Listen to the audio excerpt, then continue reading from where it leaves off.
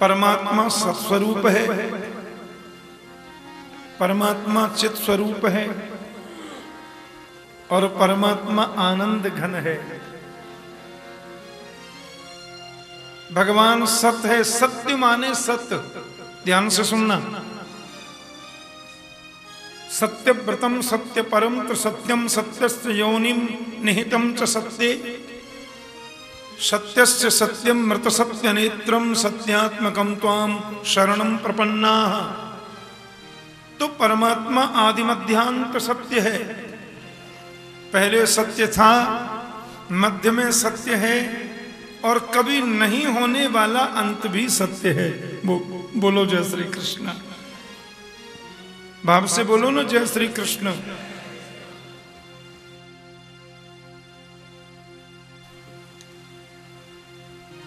परमात्मा चित स्वरूप है। चित कहते हैं प्रकाश को। अब हम लोगों को तो प्रकाश चाहिए ना साहब कथा करनी है हेलोजन लगवाओ। भागवत कथा करेंगे ट्यूबलाइट लगवाओ। और ऐसी रोशनी आनी चाहिए, सीधी भागवत जी पर पहुँचे। कभी कुछ देखना हो, कुछ पढ़ना हो तो साफ़ रोशनी तो चाहिए। लेकिन परमात्मा को किसी से रोशनी लेने की ज़रूरत नहीं है। जगत प्रकाश से प्रकाशक रामू। सारी दुनिया को प्रकाश वही देता है। सूरज में रोशनी, चंद्रमा में शैतल्य, ये सब उसी के द्वारा तो प्रदत्त है। क्योंकि वो चित स्वरूप है, वो चित है। और भगवान का तीसरा नाम है आनंद। परमात्मा आनंद है। आनंद की तो बड़ी विचित्र, बड़ी पवित्र, बड़ी अद्भुत परिभाषा है। वैसे हम लोगों ने तो आनंद को बड़ा सस्ता बना दिया हाँ। हमें तो चाट पकोड़े खाए बोले आनंद आ गया। हुँ? बर्गर खाया बोले आनंद आ गया। पिज्जा खाया बोले आनंद आ गया। फलाने मियाँ की दुकान की चाय पी बोले आनंद आ गया। आनंद? ये तो जीव के स्वाद है फालतू। आनंद तो केवल केवल और केवल मेरा गोविंद है और आनंद कुछ है ही नहीं। आनंद राम है, आनंद कृष्ण है, आनंद परमात्मा है। दुनिया का कोई भी पदार्थ आनंद नहीं दे सकता। आनंद तो केवल तुम्हें आनंद ही दे सकता है। जो आनंद है, वो आनंद प्रदान करेगा। जो आनंद सिंधु सुकुरासी सी करते तई लोक सुपासी, सो सुख धाम राम अस नामा, असिल लोकदायक विश्रामा। तो आनंद का सिंधु है वो परमात्मा, आनंद का सिंधु है गोविंद। इसलिए जब कृष्ण जन्म आता है, चतुर्थ दिवस भागवत कथा में तो हम लोग सब मिलके गाते नंद घर आनंद भयो, जय कन्हैया। नंद घर छोरा भयो, जय कन्हैया, लाल की तो नहीं बोलते। नंद घर कृष्ण भयो, जय कन्हैया, लाल की तो नहीं बोलते। नंद घर लाला भयो, जय कन्हैया, लाल की तो नहीं बोलते। नंद घर आनंद भयो, क्योंकि आनंद स्वयं कृष्ण है। आनंद स्वयं परमात्मा है। अवध घर आनंद भयो जय कन्हैया लाल की। अवध घर आनंद भयो जय रघुवर राम की। आनंद परमात्मा है। और विश्वोत्पत्ति हे तबे। बड़ी विचित्र बात है।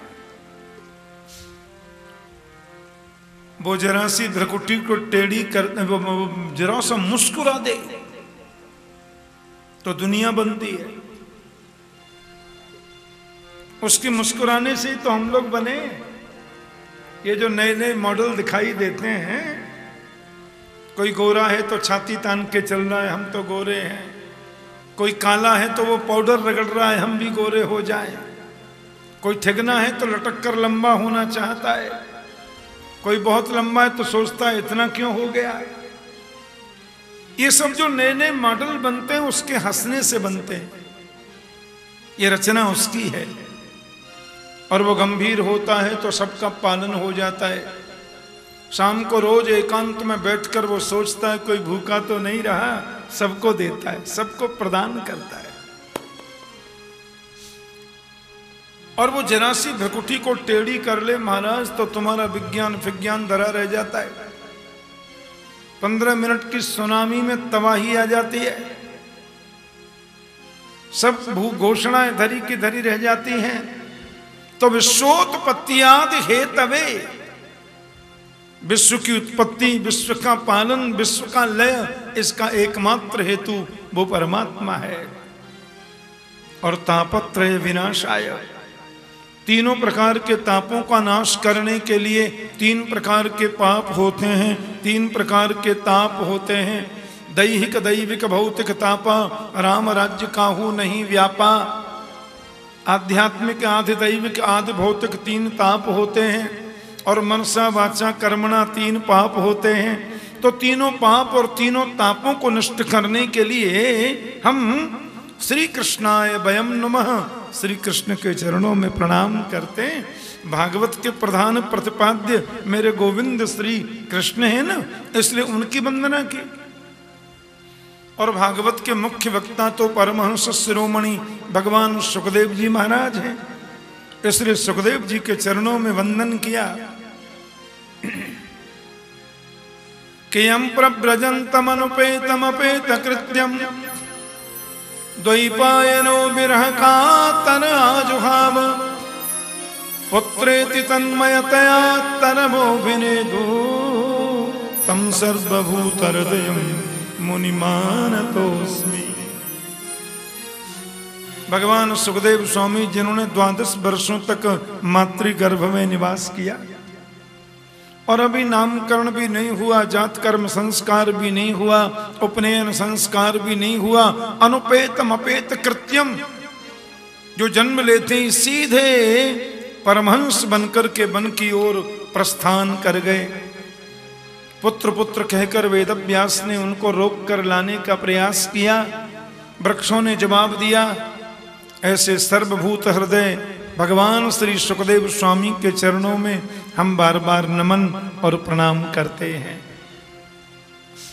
जैसे इस पवित्र, अद्भुत प्रांगण में हम लोग भागवत की कथामृत रसपान करने के लिए समवेत रूप से एकत्रित हैं, वैसे ही पुराणों के लिए सबसे उत्तम जगह माना गया है। नैमिषारण्य। अठासी हज़ार ब्राह्मण संत विराजमान थे। उन्हें हम सौनक आदि ऋषियों के नाम से जानते हैं। वहाँ सूत जी का आगमन हुआ और सूत जी ने उनको बड़ी सुंदर भागवत के महात्म्य की कथा सुनाई। जिस भागवत महात्म्य में धुंधकारी की मुक्ति का प्रसंग गोकर्ण के विचित्र व्याख्यान की कथा और सनत कुमारों के माध्यम से नारद जी को लक्ष्य करके भक्ति ज्ञान वैराग्य की मुक्ति के लिए उनके शरीर की रुग्णावस्था को दूर करके उनको पुष्ट बनाने के लिए भागवत की कथा करने की विचित्र व्याख्या की गई। और अंत में कहा, श्रीमद भागवतम शास्त्र मुक्ति दाने गर्जती। ये भागवत शास्त्र मुक्ति देने के लिए गर्जना करता है। दुनिया में एक भी ग्रंथ ऐसा नहीं है जो ये दावे से बोले कि मेरी शरण में आओ, मैं तुम्हें मोक्ष प्रदान करूँगा। केवल विश्व का श्रीमद भागवत शास्त्र ही ऐसा है, जो गर्जना करके कहता है कि मेरी शरण में आओ, मैं तुम्हें मुक्ति प्रदान कर सकता हूँ। लेकिन शरण में तो तुम्हें आना पड़ेगा। लेकिन श्रोता बनकर के आओ। श्रोता का मतलब होता है सुनना, सुनने का मतलब होता है पीना। श्रोता तीन प्रकार के होते हैं, प्रेम से बोलो, जय श्री कृष्ण। बड़ा ढीला बोलते हैं जय श्री कृष्ण वैसे एकादशी भी है, आज कई लोग एकादशी व्रत भी करते हैं। बोले तुम पे तो कोई काम है नहीं महाराज, जब देखो जब जय श्री कृष्ण सवेरे से एक सेब खाया है खाली, आधा गिलास दूध पिया है, हैं? हम तो व्रत करते हैं, एकादशी व्रत रख रखा है हमने। और आप तो प्रेम से भोजन पाके आए हो व्यास गद्दी पर बैठ के हर ढाई मिनट में जय श्री कृष्ण अरे पेट्रोल हो, तब तो गाड़ी चलती है, बिना पेट्रोल के चलती क्या? लेकिन आप लोगों के चेहरे को देखकर ऐसा तो नहीं लगता कि फलहार कुछ हल्का किया है। वो तो ठीक ठाक चकाचक हुआ ऐसा लग रहा है। फिर बोलने में कंजूसी क्यों करते हो? जरा भाव से बोलो ना, जय श्री कृष्ण। एक सुनार थे और सत्संग प्रेमी थे। संतों के चरणों में उनकी बड़ी निष्ठा सी कोई कोई सत्संग में बड़े प्रिय होते हैं। हाँ। किसी भी महापुरुष का कथा हो, सत्संग हो तो वे सुनने को जाते थे। सुना। और उस स्वर्णकार ने बड़ी सुंदर दो प्रतिमा बनाई। अद्भुत प्रतिमा बनाई दो। एकदम वशिष्ठ जी की प्रतिमा ऐसे वशिष्ठ जी बैठे। और 40-40 किलो की दो प्रतिमा बनाई, नुमाइश मैदान में रख दी। लोग देख रहे हैं, बोले, भैया, बड़ी सुंदर प्रतिमाएँ। नीचे लिखा था, वशिष्ठ जी लोगों का क्या दाम है? सुनार बोला एक पाँच सौ रुपए की एक पचास हज़ार की। लोग बोले पचास हज़ार की में सोना लगाए क्या? ना, ना, ना। दोनों पीतल की हैं। झूठ नहीं बोलूँगा दोनों पीतल की हैं साहब। और दोनों का वज़न भी बराबर है। चालीस चालीस केजी की दोनों मूर्ति हैं। बिल्कुल विशुद्ध पीतल है, एक रत्ती भी सोना नहीं है। पर इसमें एक मूर्ति है, पाँच सौ रुपए की, एक है पचास हज़ार की। बोले पचास हज़ार की कौन सी है? बोले, ये आपको बताना है, कौन सी है, बताइए। मैंने तो दो मूर्ति बना दी। अब आप छांटिए, पचास हज़ार की कौन सी? पाँच सौ रुपए की कौन सी? अब कोई आके तराजू से तोल कर देखे, कोई उल्टी सीधी करके, तिरछी करके देखे मूर्ति को, बोले, भैया, ये तो बराबर की है कुछ नाक, कान, आँख, नाक सब बराबर लग रहे हैं, कोई अंतर भी नहीं है, फिर इतना मूल्य में अंतर कैसे, हमारी समझ में नहीं आता? एक महात्मा जी बोले स्वर्णकार बड़ा सत्संग प्रेमी है। महात्मा जी आकर के भीड़ में खड़े हो गए, बोले, क्यों स्वर्णकार जी, आपकी मूर्ति की मैं परीक्षा ले सकता हूँ? ले लो साहब। महात्मा जी ने सुतली हाथ में ली, सुतली समझते हाँ तो बरेली तो है, कोई अमेरिका थोड़ा ही है, बोलो, जय श्री कृष्ण। हाँ सुतली भी नहीं समझेंगे। महात्मा जी ने सुतली हाथ में ली और ऐसे उसको गीले हाथ से बट करके लंबी कर दी। और एक मूर्ति के कान में सुतली को डाला इधर से। ऐसे पार निकल गई सुतली। महात्मा जी बोले, पाँच सौ रुपए की है। बरोबर साहब, एकदम ठीक कह रहे हैं आप। फिर सुतली को महात्मा जी ने ऐसे करके और इस दूसरी मूर्ति के कान में डाला। तो कान तो पार था ही नहीं। ऐसे सुतली गई यहाँ और यहाँ आकर ऐसे मुड़ गई। मुड़कर सीधी पेट में चली गई। बोले, ये पचास हज़ार की है। बोले, एकदम सही बोल रहे हैं आप। बोले, मैं सिर्फ़ ये बताना चाहता था कि सुनना दो प्रकार का, इधर से सुना, इधर से निकल गया।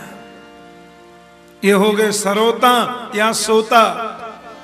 लेकिन सुन करके जीवन में जो उतार ले वे वो होते सच्चे श्रोता। जो जीवन में उतर जाए भागवत में ही लिखा है कभी कभी केवल सुनने से असर नहीं हो पाता। मैं कितने लोगों को जानता हूँ जिन्होंने सैकड़ों भागवत सुन ली। हाँ उनकी सुनी उनकी सुनी उनकी सुनी उनकी सुनी, ठाकुर जी की सुनी, इनकी सुनी, लेकिन वहीं के वही है। न तो क्रोध कम हुआ, न काम कम हुआ, न लोभ कम हुआ, जिम प्रति लाभ, लोभ अधिकाई बढ़ते ही चला गया। और मैं कितने लोगों को जानता हूँ जिन्होंने एक भागवत नियम से सुनी। ब्रेकफास्ट में आमलेट लेते थे।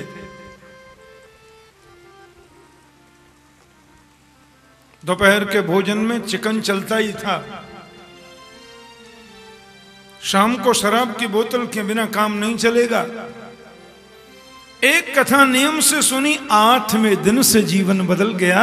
प्योर वेजिटेरियन हो गए, खाना पीना सब छूट गया, माला हाथ में आ गई। हमारे संत कहते हैं, तुम्हारे हाथ में यदि माला होगी तो दूसरे हाथ में ये माला तुम्हें बोतल नहीं आने देगी। ये माला तुम्हारे हाथ में सिगरेट नहीं आने देगी। ये माला की ताकत है। जीवन में इतना परिवर्तन आ गया। तत्न प्रपठन विचारण परो, भक्तियाँ विमुच्य नर।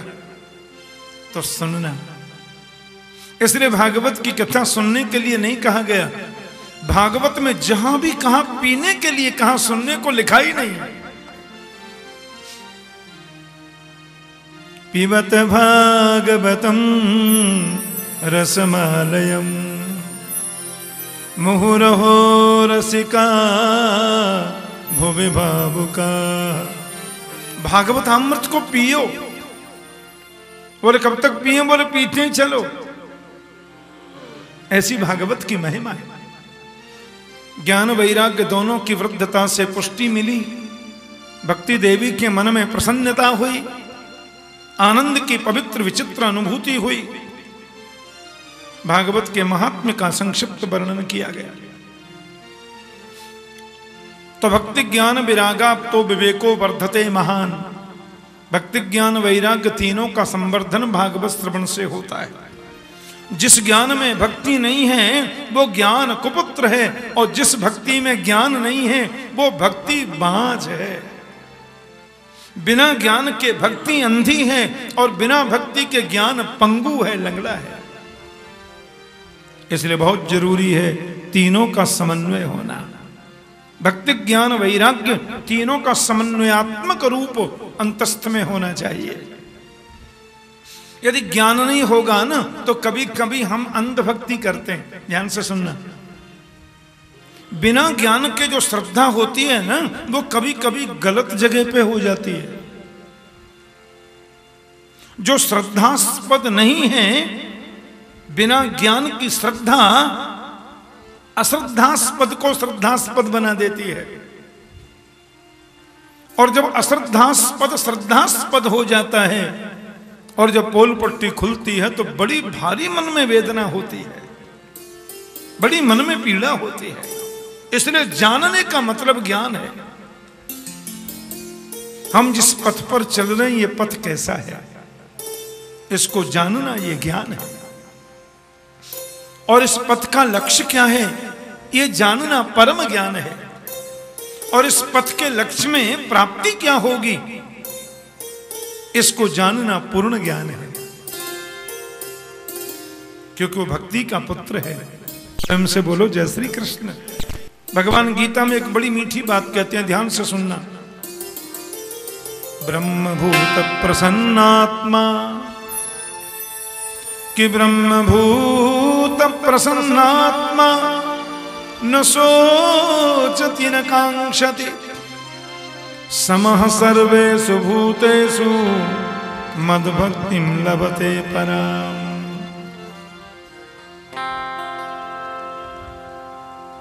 ज्ञान की चरम परिणति में व्यक्ति जब पहुँचता है तो मदभक्तिम लभते पराम, उसको मेरी पराभक्ति की प्राप्ति होती है। निवेदन सिर्फ़ इतना है कि भक्ति, ज्ञान, वैराग्य तीनों को पुष्टि मिलती है भागवत से।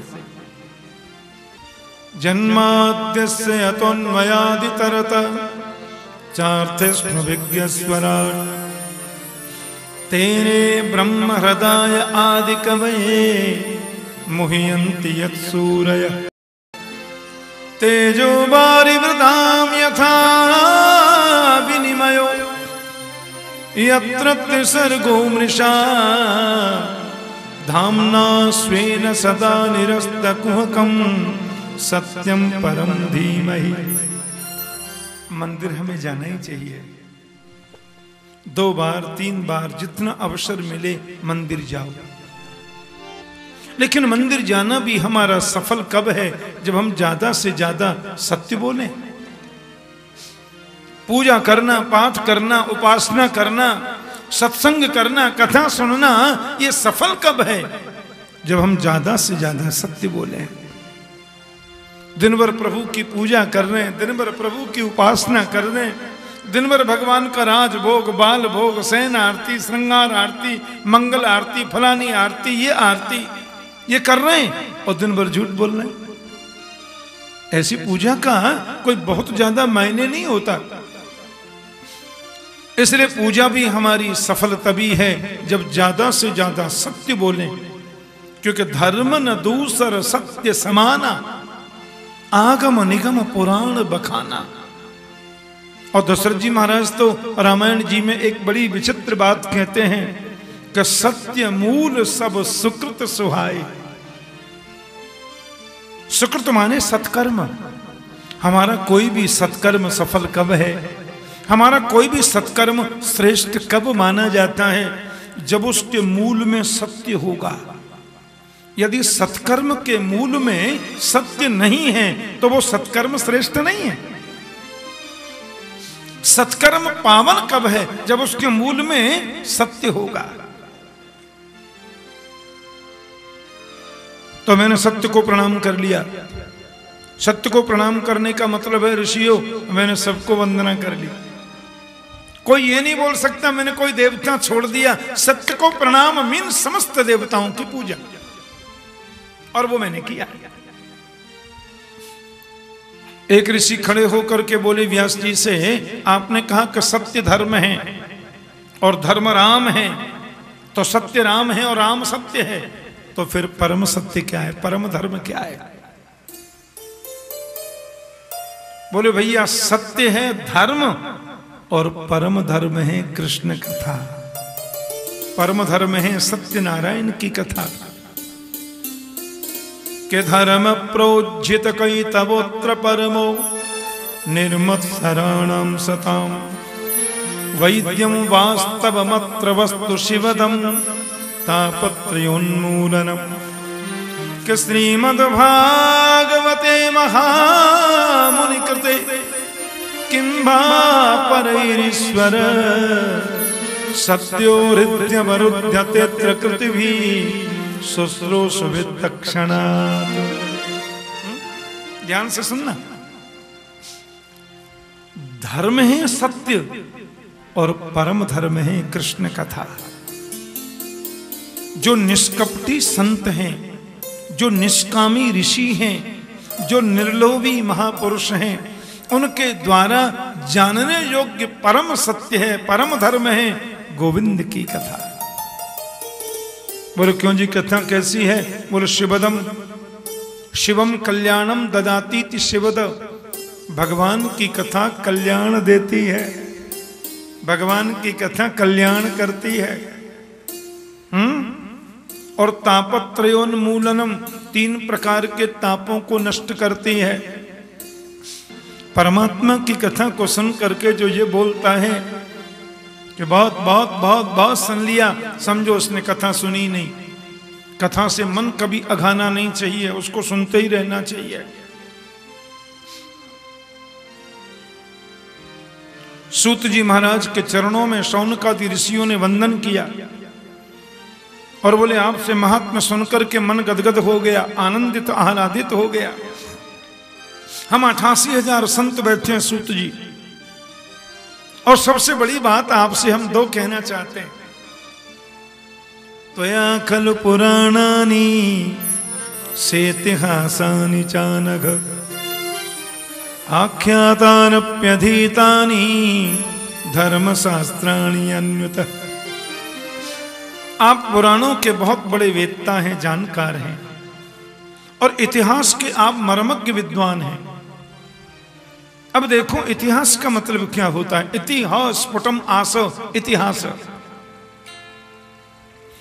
घटना प्रधान सत्य बातें जिसमें कही जाएँ, उसको इतिहास बोलते हैं। और जिसकी हर बात शिक्षा के लिए कही जाए, उसको पुराण कहते हैं। पुरा अपि नव पुराण। आप जानकार हैं। और सबसे बड़ी बात यह भी हमको लगती है कि आप भगवान वेद व्यास जी के पुत्र हैं। श्री सुखदेव, भगवान सुखदेव के आप लाडले सखा हैं। सुखदेव स्वामी के आप मित्र हैं और भगवान वेद व्यास जी के आप परम वंदनीय शिष्य हैं। इसलिए आपसे कुछ पूछने का मन हो रहा है। अरे भाई, संसार में किसी को सुख चाहिए तो क्या करे? वो एक मणि होती है ना, पारस मणि, पारस पत्थर होता है। और हमने सुना है शास्त्रों में लिखा है कि उसको लोहे से लगाओ, वो सोना बना देता है। तो दुनिया में किसी को पारस मणि मिल जाए तो हो गए माला माल और माइक्रोफोन से लगाओ तो यही सोना हो जाए। हुँ? जिस चीज़ से लगाओ लोहा, वो सोना बना। स्वर्ग में किसी को सुख यदि चाहिए तो वहाँ एक वृक्ष है कल्प वृक्ष कल्प वृक्ष के नीचे बैठकर के मन में संकल्प करो, कामना पूरी हो जाती लेकिन गुरुदेव यदि प्रसन्न हो जाए, संत यदि प्रसन्न हो जाए, प्रेक्षत गुरु प्रीतो वैकुंठम योग दुर्लभम। बड़े बड़े योगियों को नहीं मिलने वाला जो वैकुंठ है और बड़े बड़े मनीषियों को जिनका दर्शन नहीं हो पाता ऐसे परमात्मा श्रीमन नारायण इनसे मिला देते हैं संत इनसे मिला देते हैं ये, ये महापुरुष। इसलिए सूत जी आप हमारी नज़र में परम महापुरुष हैं। गुरुतुल्य आपके प्रति हमारे अंतस्थ में आदर का भाव है। अठासी हज़ार ऋषि बैठे थे।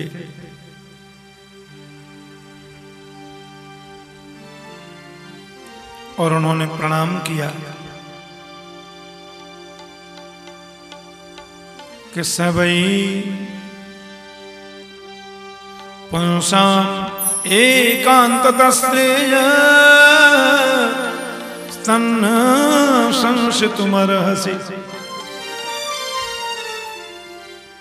मानव के कल्याण का मार्ग क्या है? और मेरा निवेदन बहुत ध्यान से सुनना। मनुष्य के कल्याण का रूप क्या है? पहला प्रश्न है, जिसे हम मुक्ति कहते हैं वो क्या है? क्या परिक्रमा देने से मुक्ति मिलती है? पेड़ पर उल्टे लटक कर तपस्या करने से मुक्ति मिलती है। मुक्ति का रूप क्या है? दूसरा प्रश्न, पूजा किसकी करें? शास्त्रों में लिखा है, मंदिर में ज़्यादा मूर्तियाँ नहीं होनी चाहिए।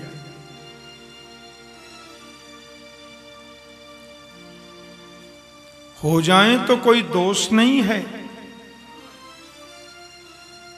लेकिन जिनका भागवत में, रामायण में, उपनिषदों में, शास्त्रों में गहन प्रवेश नहीं है, जिनकी एक निष्ठा सत्यता से परिपूर्ण नहीं बन पाई है, वो लोग कभी कभी भ्रमित हो जाते हैं।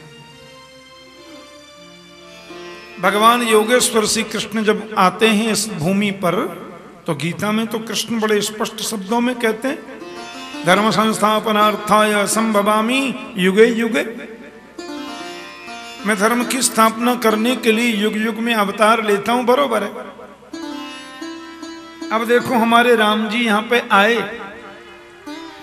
तो तकरीबन तेरह हज़ार वर्षों तक राम ने भारत में प्रशासन किया, ऐसा भागवत में लिखा है।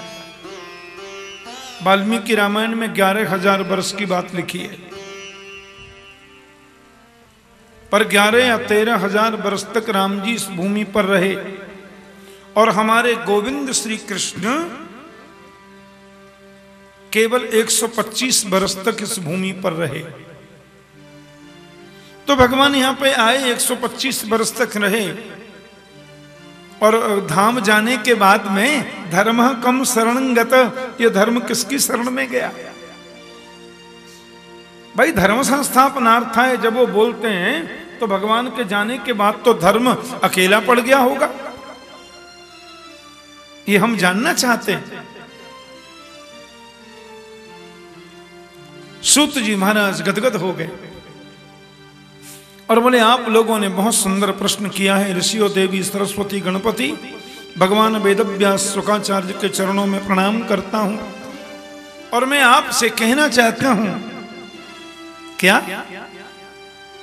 कस वही पुंसाम परो धर्मो। यतो भक्ति रथोक्षजे। अहैतुक्य प्रतिहता।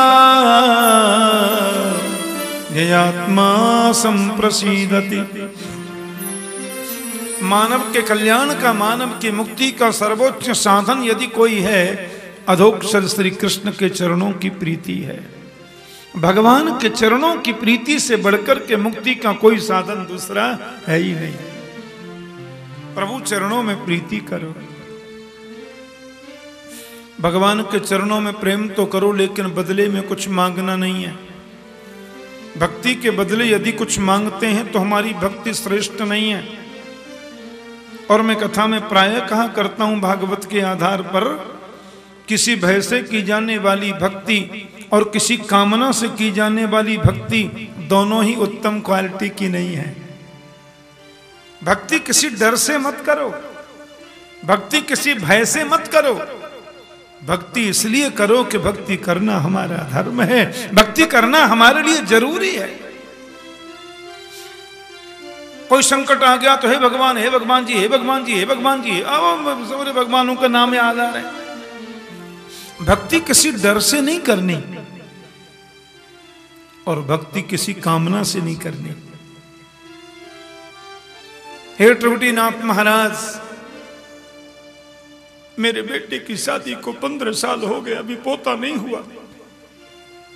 मैं आपको वचन देती हूँ, बाबा यदि घर में पोता हो गया तो तुम्हें सोने का छत्तर चढ़ाऊँगी।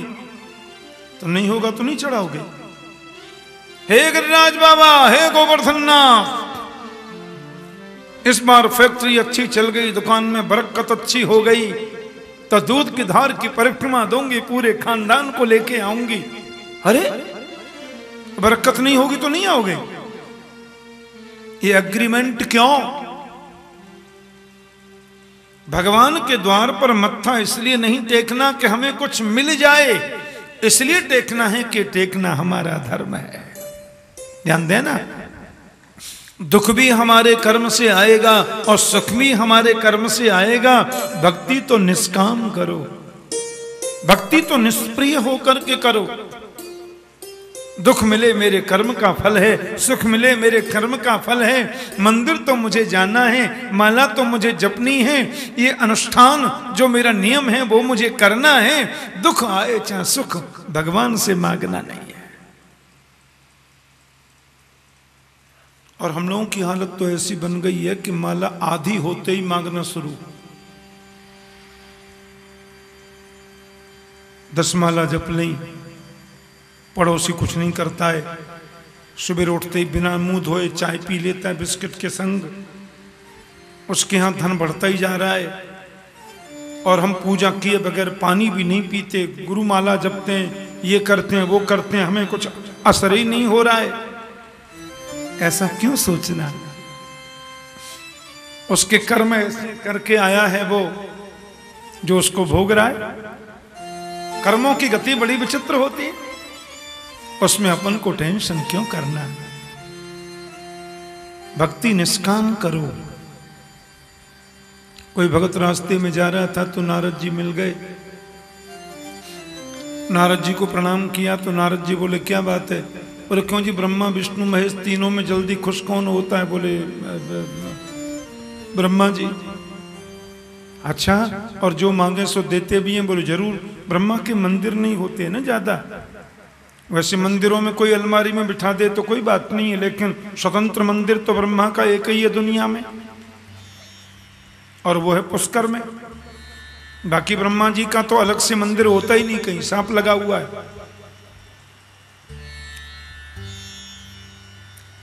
इसलिए कोई जरा भी भक्ति करने पहुँच जाए तो ब्रह्मा जी उधार ही बैठे रहते हैं, तुरंत फल देते हैं। मांगो। जो मांगोगे देंगे। ये भक्त ब्रह्मा जी के पास में पहुँच गया। ब्रह्मणे नमः ब्रह्मणे नमः ब्रह्मणे नमः ब्रह्मणे नमः ब्रह्मणे नमः। बड़ा तब किया। तीन महीने तक भजन किया था तो ब्रह्मा जी महाराज खुश हो गए। वरदान मांगो ब्रह्म ब्रोही ब्रह्म ब्रोही, मैं बहुत प्रसन्न हूँ। भगत ने कहा, क्या मांगू? बाबा बोलो, कुछ भी मांग लो तुम। और तुम सोचते हो, ब्रह्म विष्णु ही सब देते हैं, भगवान शिव ही देते हैं, अपन भी विधाता हैं, जो मांगोगे सो देंगे। और सुनो ऐसा मन में मत सोचना तुम कि हम दे नहीं सकते। तुमने तीन महीना भजन किया है तो वरदान भी तीन मांग लो। एक महीना के बदले एक वरदान तो तीन के बदले तीन वरदान। भगत ने कहा क्या मांगना है बाबा? आपने दर्शन बोलो नहीं, ऐसी बात नहीं है। तुम मांग करके देखो तुमको मांगने में देरी होगी हम देने में देरी नहीं करेंगे तू मांग। अब कलयुग के भगत को इतनी छूट मिल जाए बिना छूट के तो हमने भगवान की नाक में दम कर रखा है। पाँच पैसे के कपूर की आरती करते हैं क्या क्या नहीं मांगते महाराज? सुख संपत्ति घर आवे। कष्ट मिटे तन का। देखा? सुख भी दे दो, संपत्ति भी दे दो जुकाम खांसी भी ठीक कर दो, तकलीफ़ बढ़िया कर दो। अरे गोलगप्पे तुम खा रहे हो, सड़ा हुआ तेल का पकोड़े तुम खा रहे हो बाज़ार में तो खांसी नहीं होगी तो क्या होगा? जुकाम नहीं होगा तो क्या होगा? तकलीफ़ नहीं होगी तो क्या होगा? जीव बस में नहीं है, उल्टा सीधा खा रहे हैं, भगवान से कह रहे हैं, कष्ट मिटे तन का तन का कष्ट मिटा दो। ये कोई तरीका है?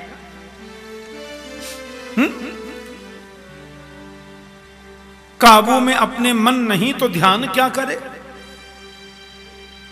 मन काबू में नहीं है। और पीछे सफ़ाई कितनी अच्छी देते हैं। तेरा तुझ गो पण क्या लागे मेरा? ओम जय जगदीश कोठी कुठला से हाथ मत लगाना, तिजोरी की ओर देखना नहीं, भगवान जी सब आपका ही है। गलत बात है। तो बिना छूट के हमने नाक में दम कर रखा है भगवान के, और छूट मिल जाए कि तीन वरदान मांग लो, फिर तो कहना क्या? मांग क्या चाहिए? भगत ने कहा, क्या मांगना है बाबा? आपने खुश होकर वर दे दिया, मुझे सब मिल गया। बोल, नहीं, कुछ भी मांग ले, तू तीन मांग ले। भगत ने कहा तो मांग लू तीन। बोले, मांग। जो मांगेगा सो देंगे देंगे देंगे। अपन भी विधाता है, छोटे मोटे नहीं है।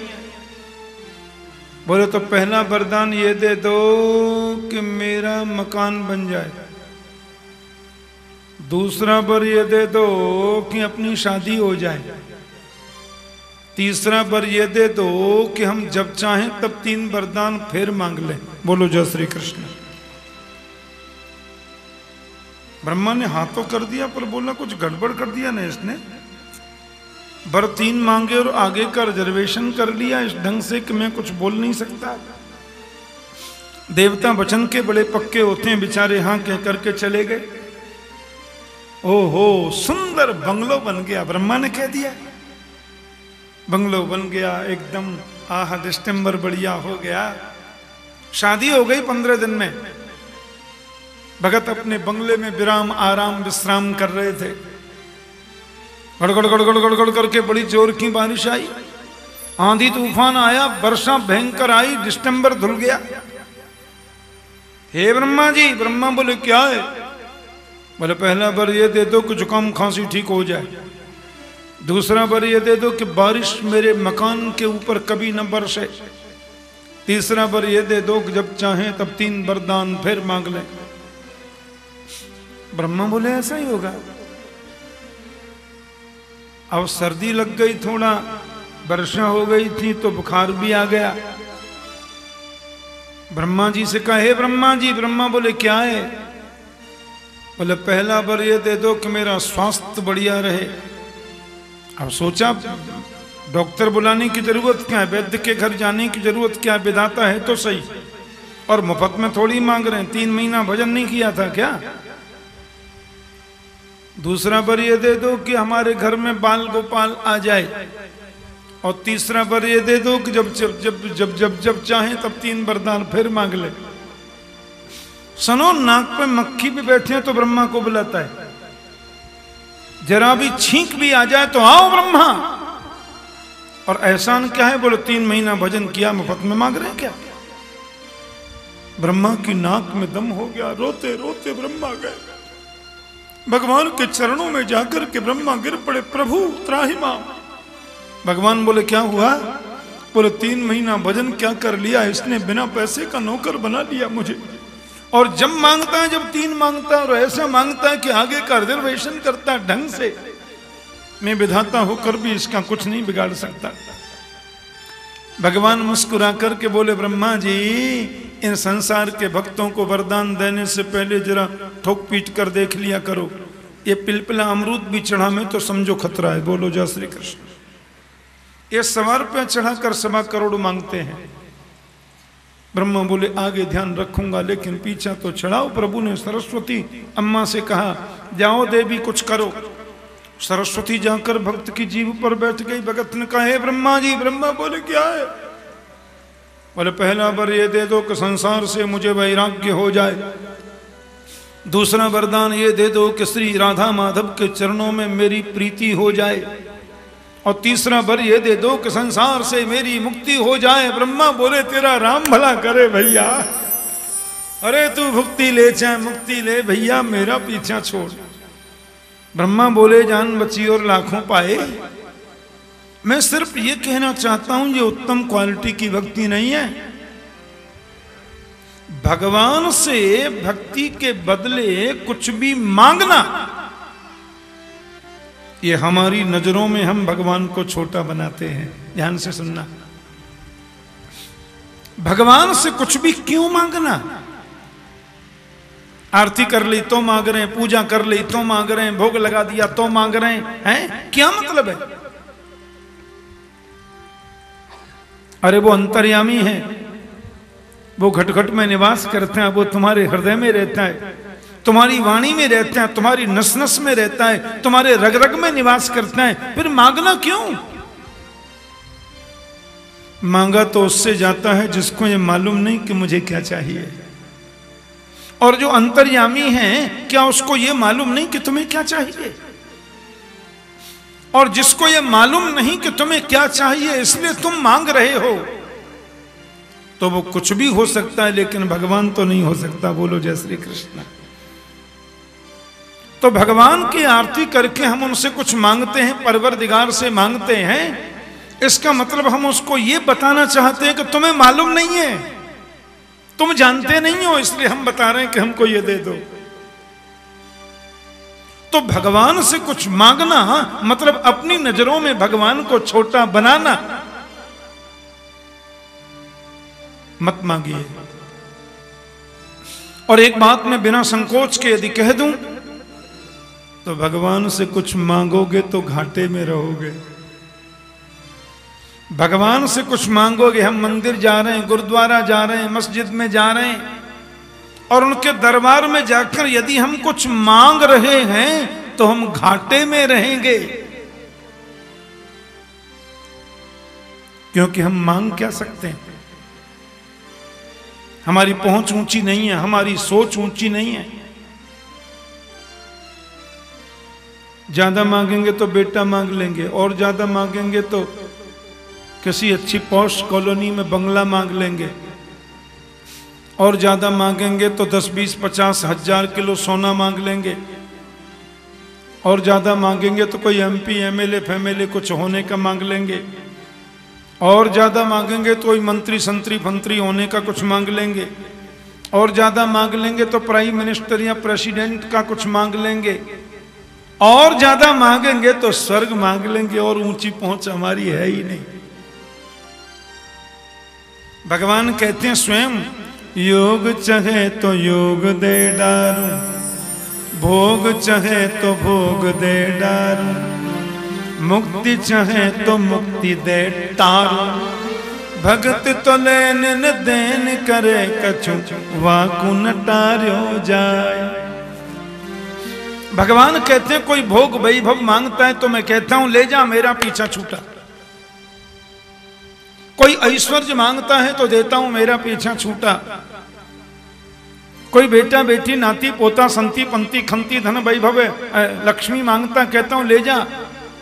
कोई मुक्ति भी माँगता है तो कहता हूँ, ले जा।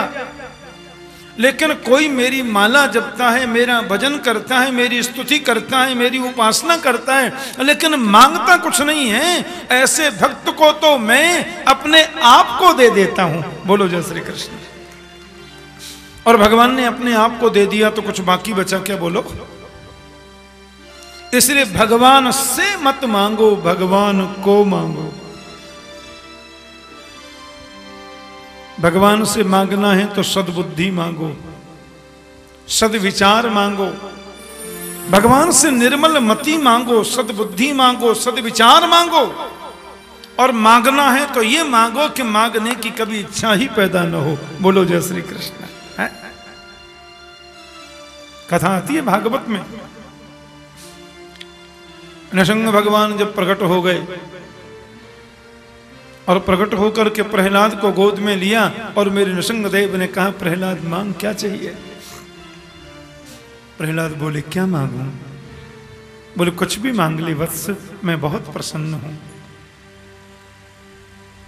ब्रह्मा का पद मांगेगा तो मैं दे दूँगा। तो जो शिव बनना है तो शिव बनने से कोई रोक नहीं सकता। बेटा प्रहलाद तू मांगने में विलंब करेगा, मैं देने में देरी नहीं कर सकता। क्या चाहिए बोल? प्रहलाद बोला तो मांगूँगा, सो दोगे? बोले हाँ देंगे। ब्रह्मा बोले, मेरी गद्दी गई।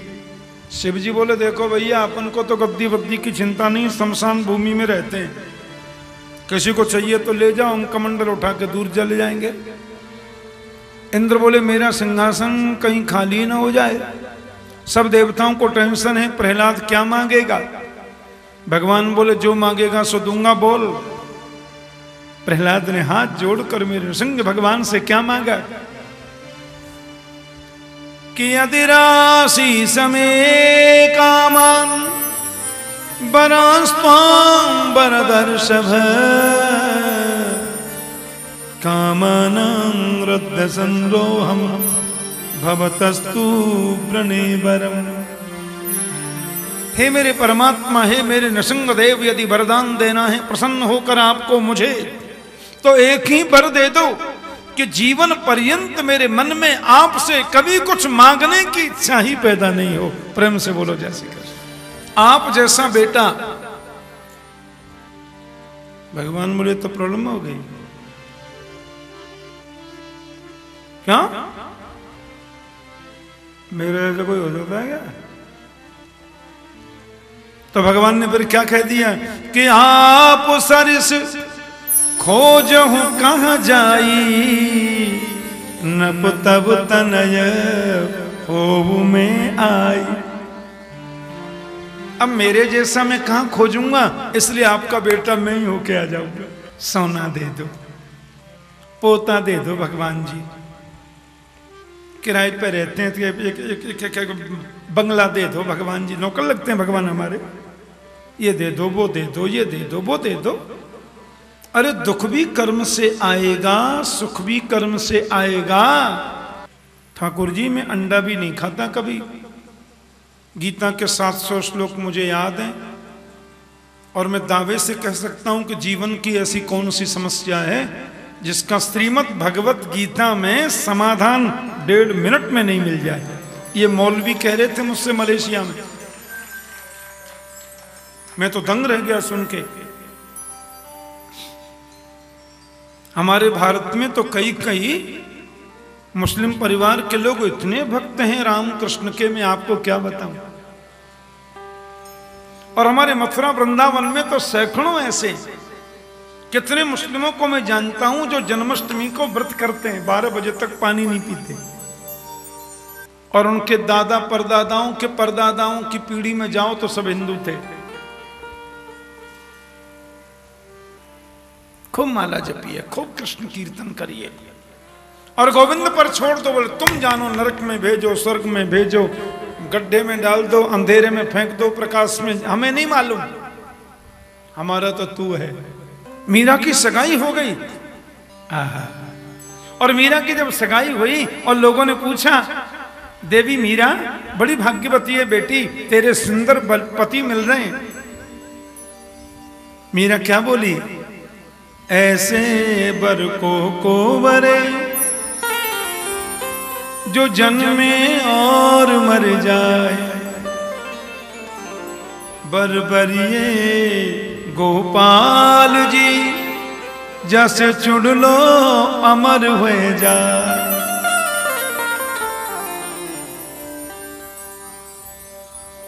ऐसे वर का क्या वर्ण करना? आज सात फेरे दे दिए, कल छोड़ के चला गया। आज फेरा दे रहा है, कल मर गया।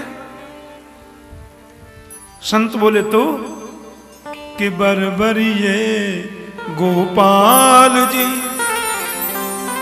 जैसे चुड़ लो, अमर हुए जा। इसलिए वर का यदि वर्ण ही करना है तो गोपाल जी का ही वर्ण करो। शरीर का कोई पति हो सकता है, शरीर का कोई बेटा हो सकता है, शरीर की कोई बहन माँ हो सकती है, पर आत्मा का पति सिवाय गोविंद के दूसरा कोई हो ही नहीं सकता। इसलिए मीरा कहती हैं, मेरे तो गिरधर गोपाल, दूसरों कोई।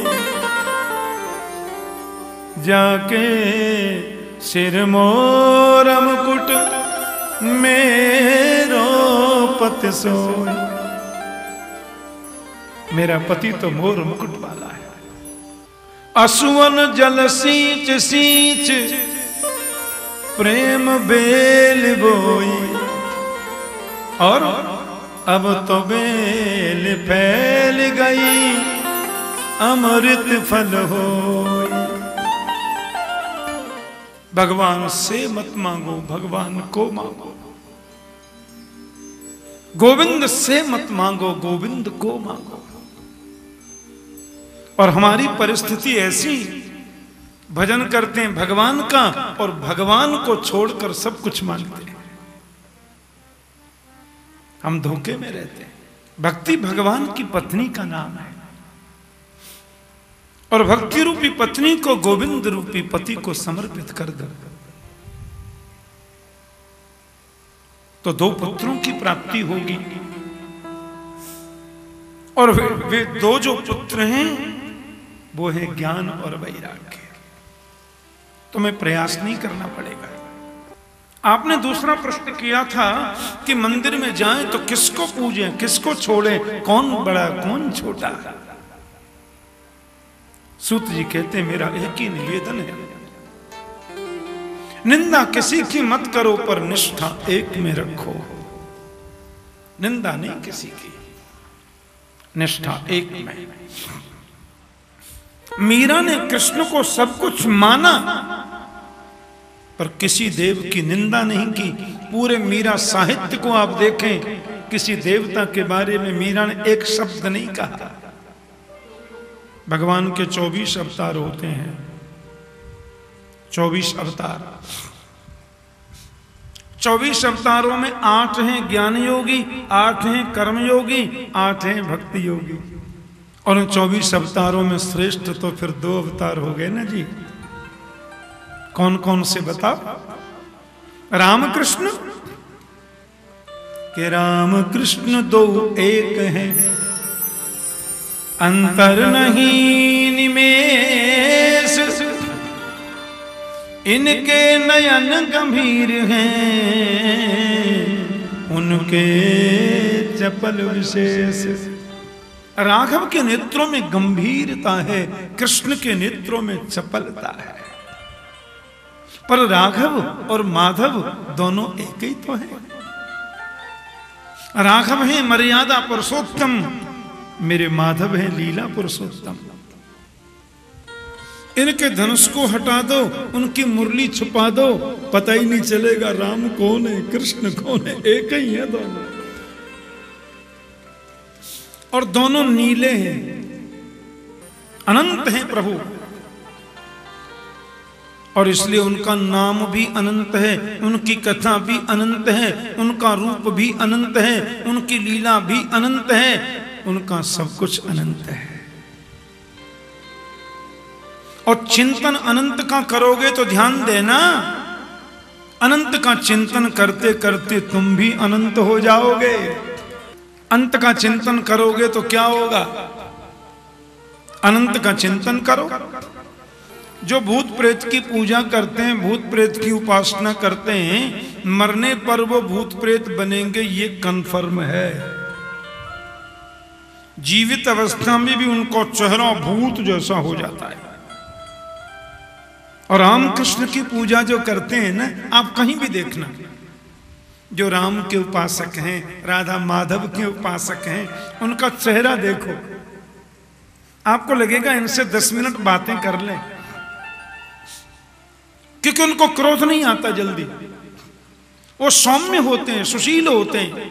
भगवान के गुण उनमें धीरे धीरे आने लग जाते हैं ना। हाँ और वो वो झाड़ फूंक करते हैं ना भैरव भैरव मंत्र भैरव मंत्र। उनका चेहरा देखो महाराज, भूत को बाद में देखो, पहले उनको ही देख लो। उनका चेहरा भी भूत जैसा हो जाता है। भैरव बाबा आ जाते हैं उनमें। हाँ। और मरने पर भूत वो बनेंगे, ये कन्फर्म है। रिजर्वेशन हो चुका है। इसलिए राम उपासना करो, कृष्ण उपासना। कल युग में भगवान को जल्दी पाने का सर्वोच्च सरल सहज तरीका है। ब्रह्मा बोले कि हरे राम हरे राम राम राम, हरे हरे। अरे हरे कृष्ण हरे कृष्ण कृष्ण कृष्ण, हरे हरे। ये वेद का मंत्र है, कोई खाली कीर्तन नहीं है। वेद में लिखा है, वेदांत में लिखा है। संतों ने मीटिंग करी, बोले, ब्रह्मा ने मंत्र तो दे दिया, हरे राम हरे राम राम राम, हरे हरे हरे कृष्ण हरे कृष्ण कृष्ण कृष्ण, हरे हरे। चैतन्य महाप्रभु बोले, भाई देखो, यदि इसको हरे राम पहले बोलोगे तो ये तो वेद का मंत्र है। और वेद का मंत्र तो बिना नहाए बोलना मना है। वेद के मंत्रों को बिना स्नान किए बोलना मना है। तो बोल, यदि हरे कृष्ण पहले कर दिया जाए तो ये वेद मंत्र नहीं होकर के फिर नाम महामंत्र हो जाएगा। और नाम महामंत्र यदि ये हो गया तो बाथरूम में भी गाओगे तो दोष नहीं लगेगा। सोते गाओ, हँसते गाओ, नाचते गाओ, नहाके गाओ, बिना नहाए गाओ, मुँह धो के गाओ, हैं? झूठे मुँह गाओ, सुच्चे मुँह खाओ, कैसे भी गाओ कोई दोष नहीं है। ये कली संतरणोपनिषद का मंत्र है। बहुत बड़ा सद्भाग्य हमारा। हम भारत में जन्मे हैं और ऐसे ऐसे ग्रंथ हैं। हमारे यहाँ पूछो मत। और ग्रंथ तो हमारा एक ही है वेद? पर वेद भगवान इतने विशाल, इतने महान हैं कि वेद के एक एक मंत्र पर ऋषियों ने कई कई ग्रंथ लिख दिए। वेद की व्याख्या इतनी गहन है। पर्व ही पर्व आते हैं। ऐसा आश्विन का महीना, एकादशी तिथि, शुक्ल पक्ष है। भगवान महर्षि वेद व्यास ने हम मनुष्यों के कल्याण के लिए भागवत की रचना इसीलिए की कि कैसे भी जीव का मन राम कृष्ण चरणानुरागी बन जाए। नारायण के बेटा, ब्रह्मा है, ब्रह्मा के बेटा शक्ति। ब्रह्मा के बेटा वशिष्ठ वशिष्ठ के पुत्र शक्ति शक्ति के पुत्र पराशर, और पराशर के नंदन है महर्षि वेद व्यास ये जन्म लेती वन की ओर चले गए, बद्रीनाथ में जाकर के पवित्र विचित्र समाधि लगाई, और उनको लगा कि संसार के लोग बड़े दुखी हैं, मैं उनके लिए कुछ करूँ। सत्रह पुराण और महाभारत लिखने के बाद भी मन संतुष्ट नहीं हुआ तो व्यास जी के आश्रम में संत नारद आए। और और नारद जी को देखकर के व्यास ने कहा, पधारिए। नारद जी बोले, आप बड़े उदास लगते हैं। पारा सर्ज महाभाग, भवत कच्चिदात्मना। परितुष्यति शारीरम। आत्मा मानस आपका मन बहुत उदास है। व्यास जी बोले, इतने शास्त्रों की, इतने ग्रंथों की रचना करी, मन संतुष्ट नहीं है। सुखदेव श्री नारद जी बोले, बुरा न मानो तो एक बात कह दो। कि नयद्वचित्र पदम हरेर्यसो। जगत पवित्रम प्रगृहीत करचित तद्वायसम तीर्थमुसंति मानसा। नयत्र हंसा निरमंतु शिक्षया।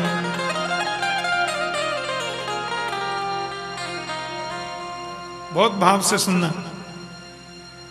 किसी सरोवर में पानी है। हज़ारों कमल के फूल भी खिले। स्नान करने के लिए मैंने डुबकी लगाई।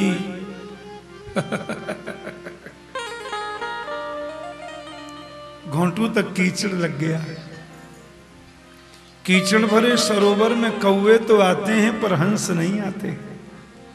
नयत्र हंसा, निर्मंत शिक्षया। कैसे आएँगे हंस? और हंसों के समान परमहंस हैं कृष्ण भक्त। के हंसा मोती चुगे, के लंगन मर जाए। हंस या तो मोती खाएगा या भूखा मर जाएगा। ऐसे ही जो परम वैष्णव राम कृष्ण के भक्त होते हैं उन्हें मरना मंजूर। लेकिन किसी प्राणी की हिंसा करना मंजूर नहीं। किसी जीव को तकलीफ़ देना मंजूर नहीं। आपने कई पुराणों में कहीं कहीं बलि का विधान बता दिया। क्यों? आपका उद्देश्य बलि के द्वारा जीव हत्या या किसी को मारना या उसको खाना नहीं था। आप चाहते थे 360 दिन में रोज जो मांस खाते हैं, वो चलो विजयादशमी को एक दिन बलि दे दो। लोग जो एक टाइम खाते थे, वो दोनों टाइम शुरू हो गए। व्यास ने कह दिया, आपके भाव को समझ नहीं सके। भागवत लिखो, और उसमें किसी जीव की हिंसा नहीं प्राणी मात्र में गोविंद बैठे इस भाव से। व्यास जी बोले, अब संभव नहीं है, अवस्था बढ़ रही है। नारद जी बोले, मन में चिंता मत करो। संतों के चरणों का आश्रय लेकर के कोई भी कार्य शुरू करो, वो सफल होता है। संत कृपा से सफल होगा। मैं पूर्व जन्म में एक उपबरहण नाम का गंधर्व था व्यास जी। मेरा नाम था उपबरहण और मैंने गलती क्या की, ऋषियों का अपराध किया तो मुझे दासी का पुत्र बनना पड़ा। और मेरा जन्म हुआ, मेरे पिता की मौत हो गई। एक तो दासी अनपढ़ मेरी माँ फिर मेरा जन्म और बाप मर गया। माँ ने सोचा, बेटे के जन्म की खुशी मनाऊं कि पति की मृत्यु का मातम मनाऊं? नई अवस्था थी माँ की। मुझे गोद में लेके बहुत रोई और फिर सोचने लगी, समाज में बहुत विकृति है। मैं कैसे रहूँ यहाँ? मुझे नहीं लगता कि मुझे यहाँ रहना चाहिए। इस बस्ती में हमारे आंसुओं को कौन पहुंचेगा? इस बस्ती में हमारे आंसुओं को कौन पहुंचेगा? यहाँ जिसको देखो उसका दामन भीगा लगता है। कौन है यहाँ? किसी का दामन साफ़ नहीं है। ऊपर से सफ़ेद पोष लगते हैं, अंदर गंदगी भरी है। माँ डर गई समाज से। और मुझे अपनी गोद में लेकर के मेरी माँ सीधी वन को चली गई। वन में बड़े ब्रह्मवादी गृहस्थ ऋषि रहते हैं। उन ऋषियों ने मेरी मातोश्री को देखा, आओ बेटी, बाबा पति की मौत हो गई। ये छोटा सा, नन्हा सा एक साल का बालक मेरी गोद में केवल दो समय का भोजन चाहिए। शेष जीवन भगवत भजन करूँगी, आप बोलेंगे, आश्रम में सेवा कर दूँगी। जाओ। प्रेम से बोलो, जय श्री कृष्ण। हमारी पत्नी अंदर है, बेटी, उनसे बात करो। और जो सेवा तुम्हें गुरु माँ दे दें, वो ले लो और रहो। ऋषियों की पत्नियों ने, ऋषि पत्नियों ने मेरी माँ को गौ सेवा दे दी। और तुम्हारा काम है बेटी, गाय का दूध दूहना। दोनों टाइम कुछ गौ माताओं को सानी लगाना, हरा चारा देना। मेरी माँ धन्य हो गई। सेवा मिली। मैं धीरे धीरे बड़ा हुआ व्यास जी तो माँ की सेवा बांटने लगा।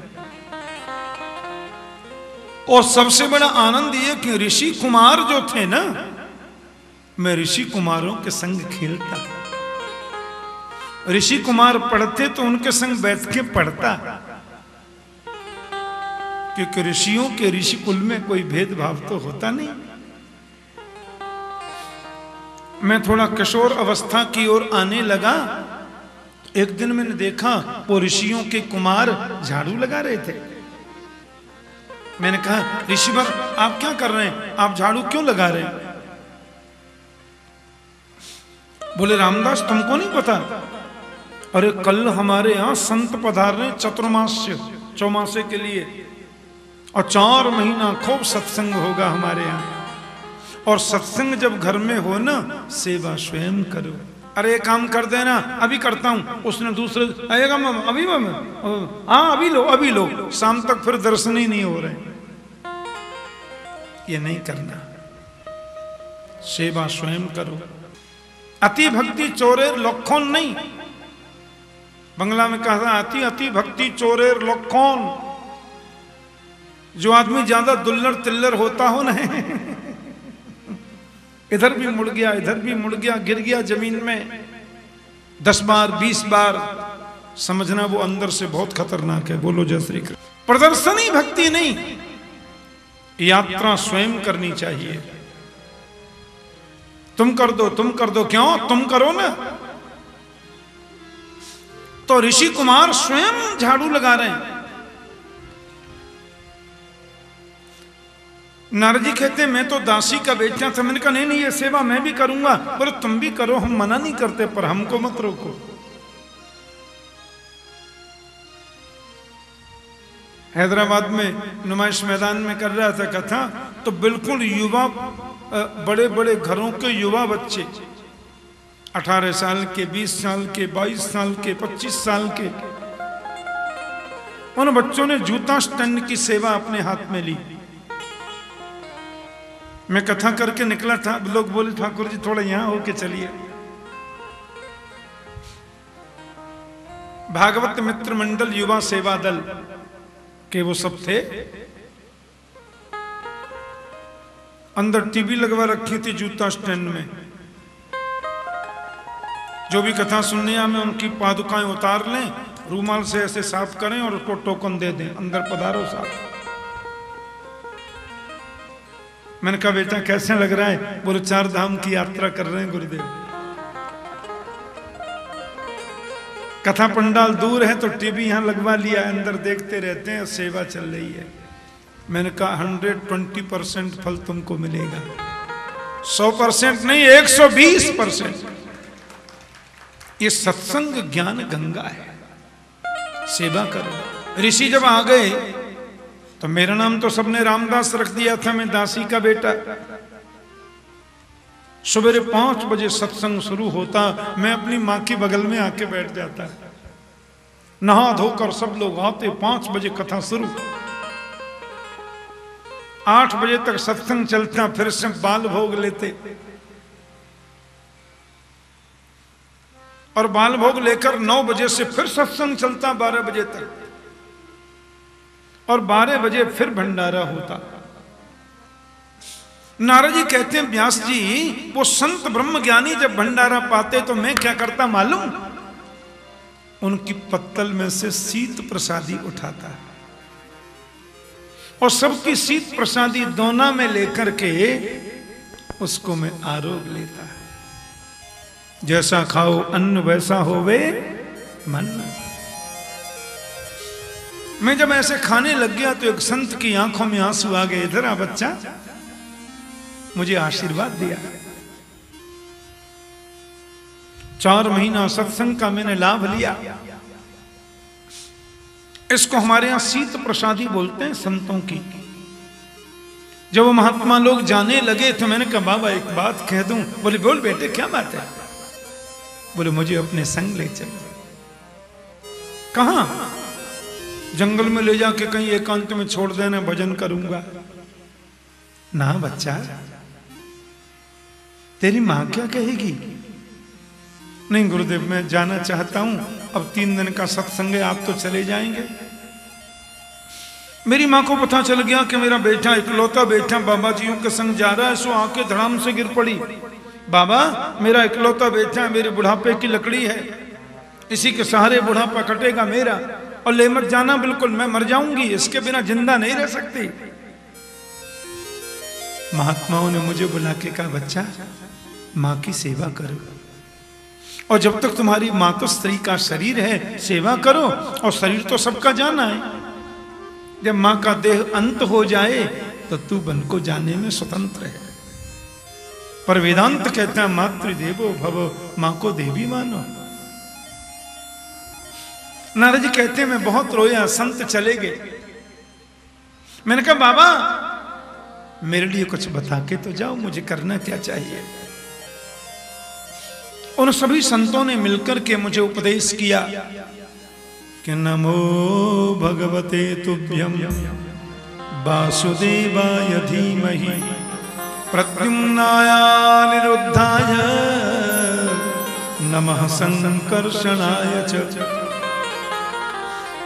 इसको गायत्री मंत्र बोलते हैं। ये भागवत का वासुदेव गायत्री मंत्र है, बत्तीस अक्षर का। नमो भगवते तुभ्यम वासुदेवाय धीमहि प्रद्युम्नायानिरुद्धाय नमः संकर्षणाय च। इस मंत्र का जाप करना बेटे। मैंने कहा, बाबा, ये तो बहुत लंबा मंत्र हो गया, मैं तो छोटा बच्चा हूँ।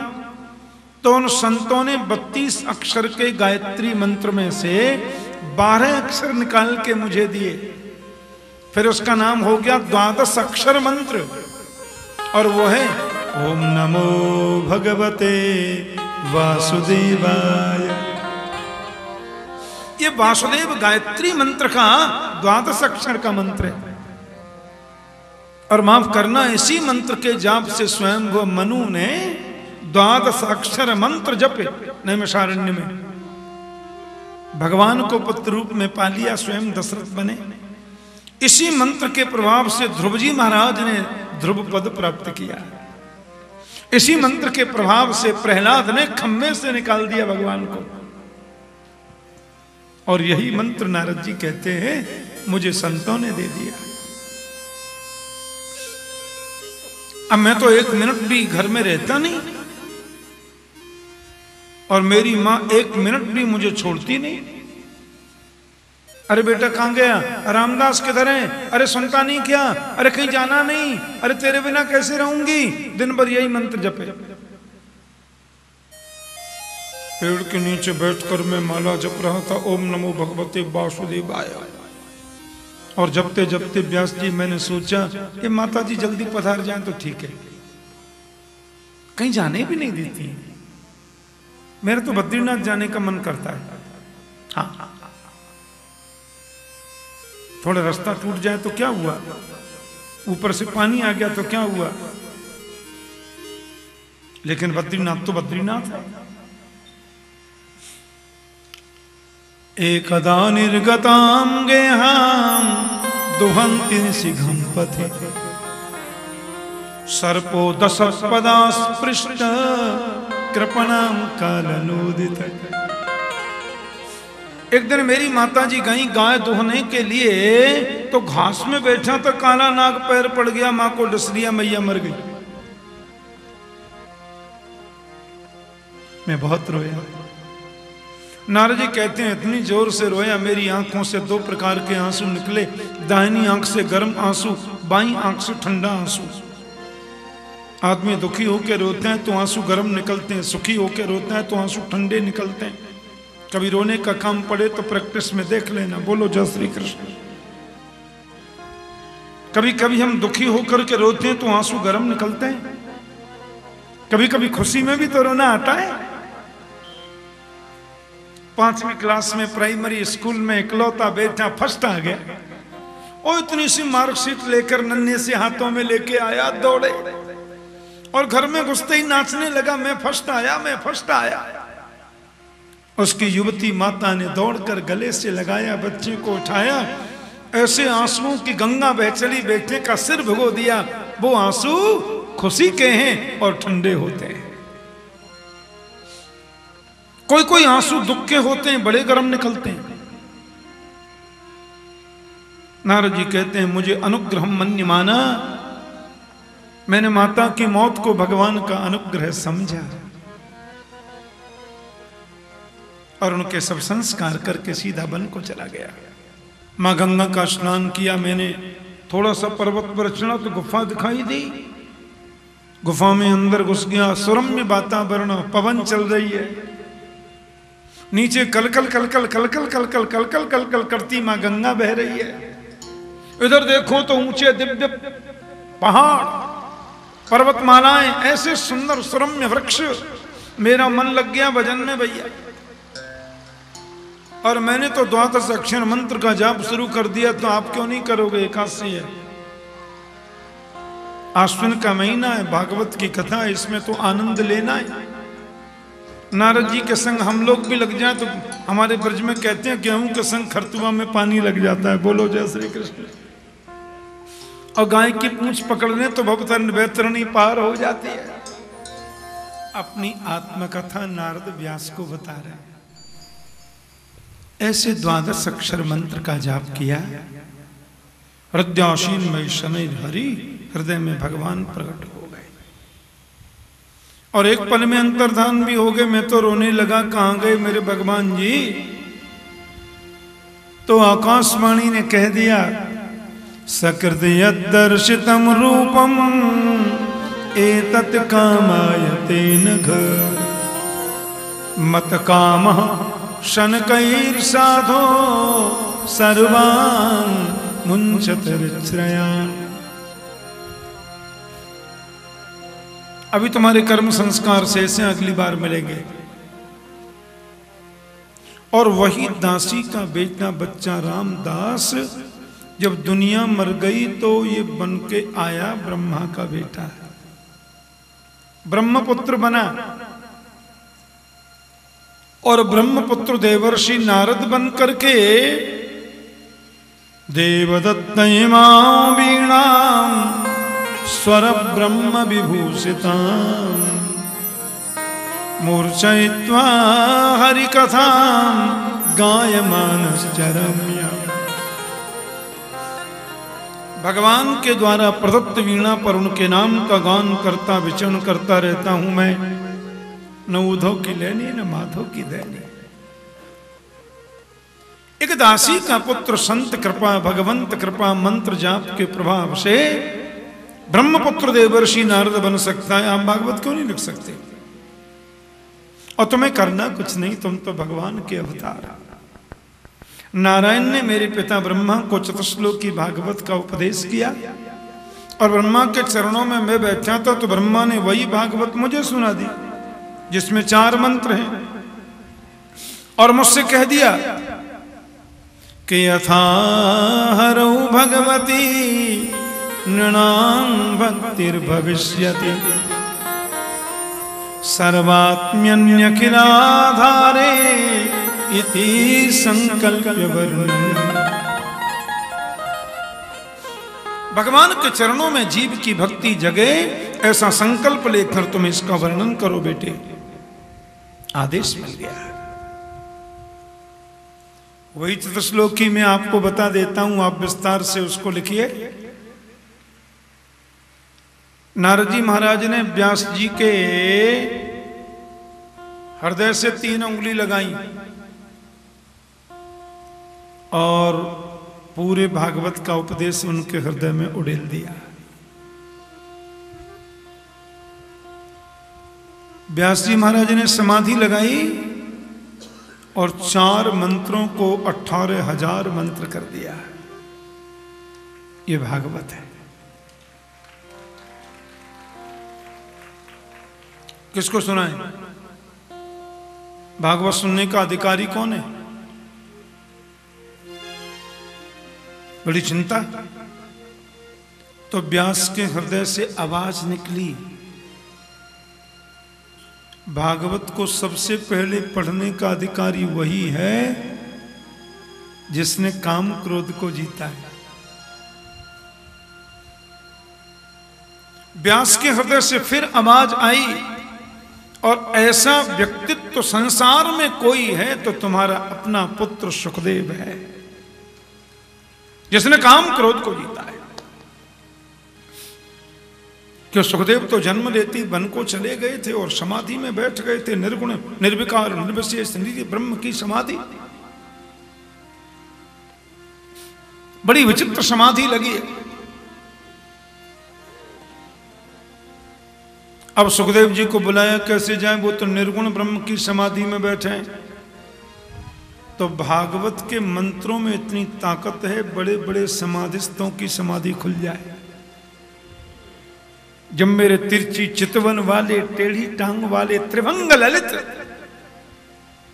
गोविंद की झांकी का वर्णन होता है तो बड़े बड़ों की समाधि खुल जाती है। अभी 8 नवंबर से मैं हरिद्वार में कर रहा हूँ कथा। हरिद्वार की कथा में संत बहुत आते हैं सुनने। और कभी कभी जब गोविंद की झांकी का स्वर लहरी में गान होता है तो बड़े बड़े मंडले सुर ठुमका मार के नाचते हैं। बोलो, जय श्री कृष्ण।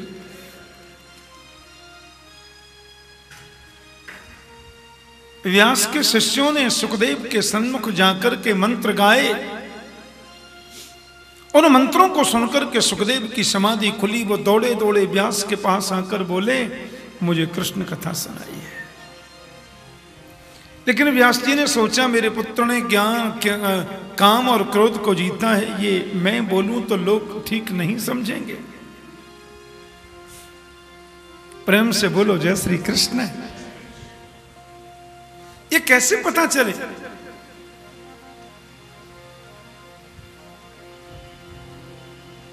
यदि दूसरा कोई बोल दे और दूसरा कौन हो सकता है ज्ञानी? राजा जनक।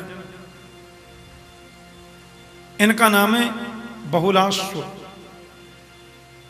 जनक महाराज के वंश में बड़े ज्ञानी जनक हुए। एक जनक महाराज निमी हुए जिनके यहाँ पर नवयोगेश्वर गए थे। एक जनक महाराज वो हुए जिनकी बेटी जानकी थी, उनका नाम था सीरत ध्वज और एक जनक ये हैं जिनके यहाँ सुखदेव जी अध्ययन करने गए।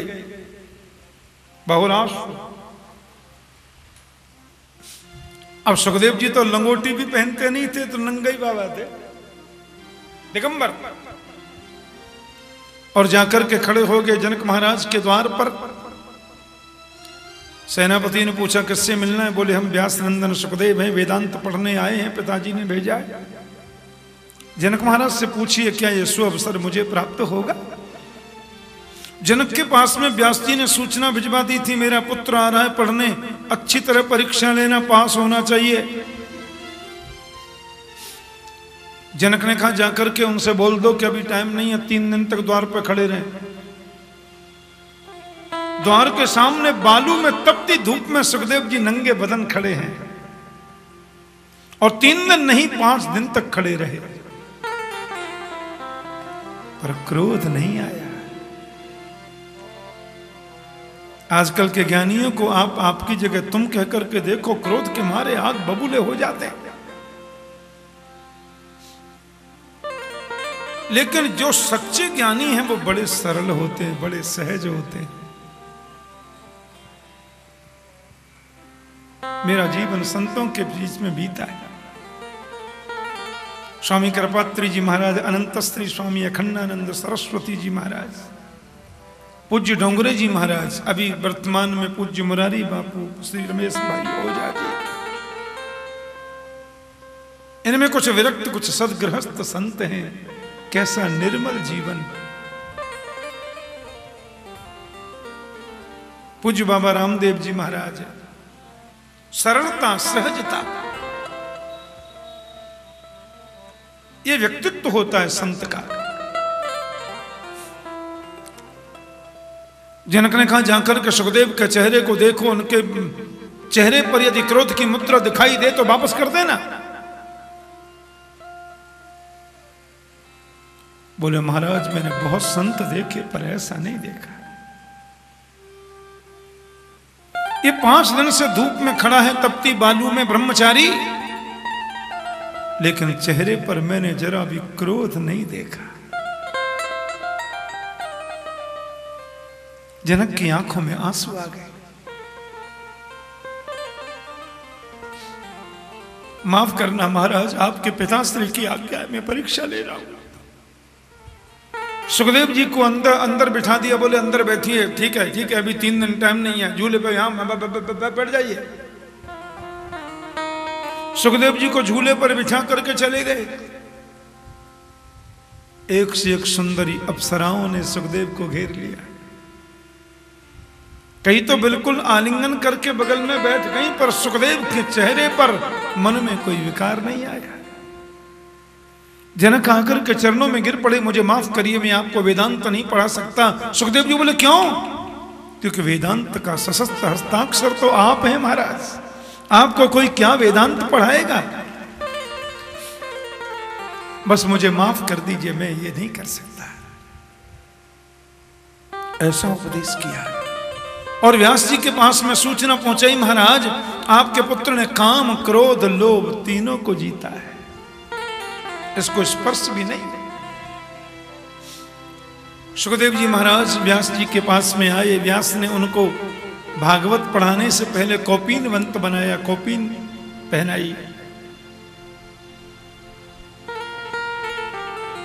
राजा परीक्षित को सात दिन में मरने का शाप जब लगा, कोई बड़े बड़े संत भी निर्णय नहीं कर सके। कि सात दिन में परीक्षित को मोक्ष कैसे मिले, भगवान सुखदेव जी पधारे और ऐसी भागवतामृत की औषधि पिलाई कि सातवें दिन ही परीक्षित को मोक्ष मिल गया।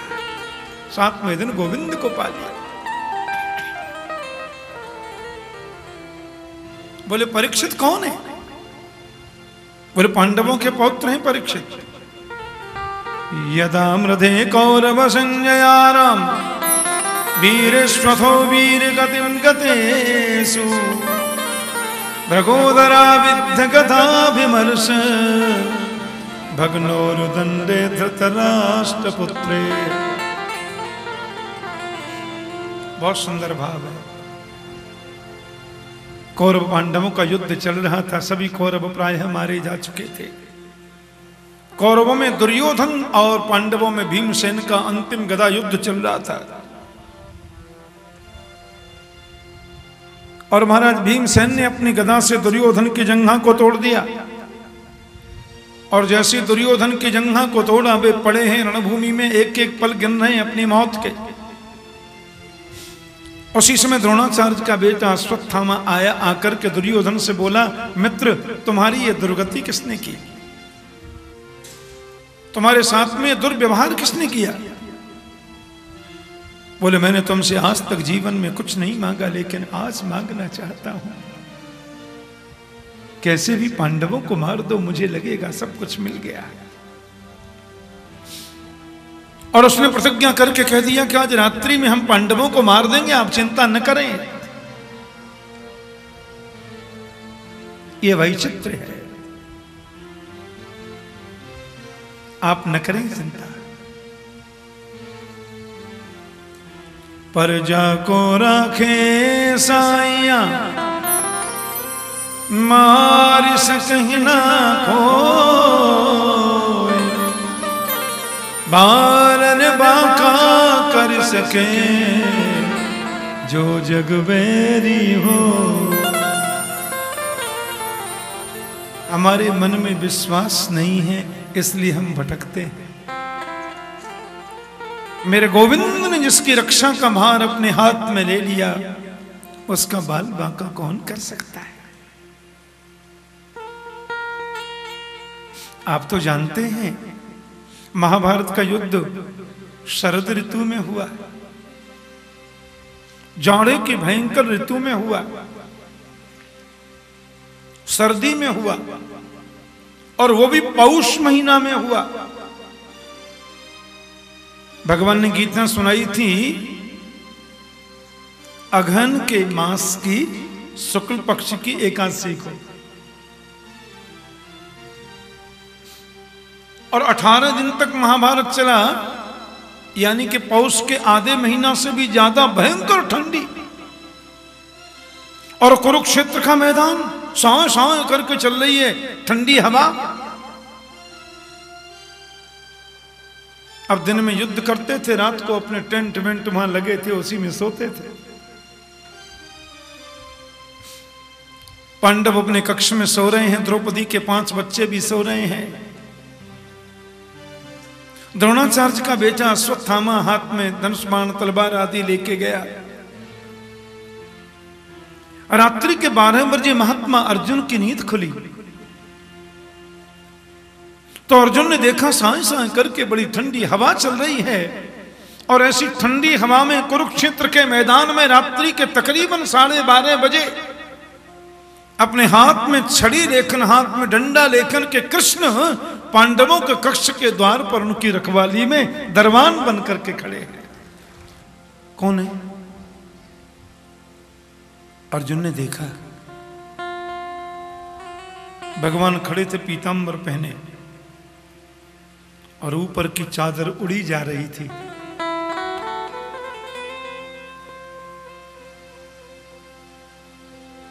केशव, आप इतनी भीषण ठंडी और इतनी ठंडी हवा आंधी। और आप महल के द्वार पर खड़े हैं। इस टेंट के द्वार पर, हमारे कक्ष के द्वार पर क्यों?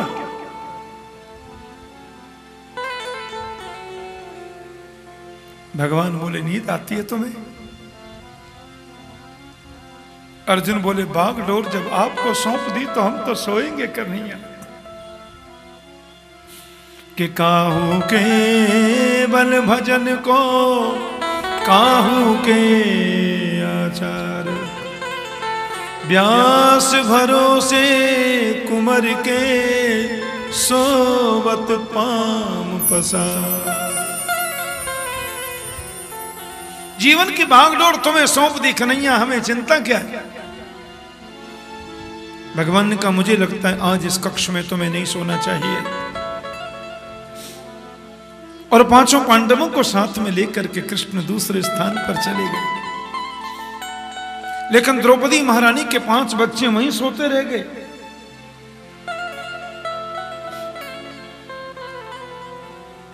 रात्रि में अश्वत्थामा आया, हाथ में तलवार धनुष्मान आदि सब लगे थे।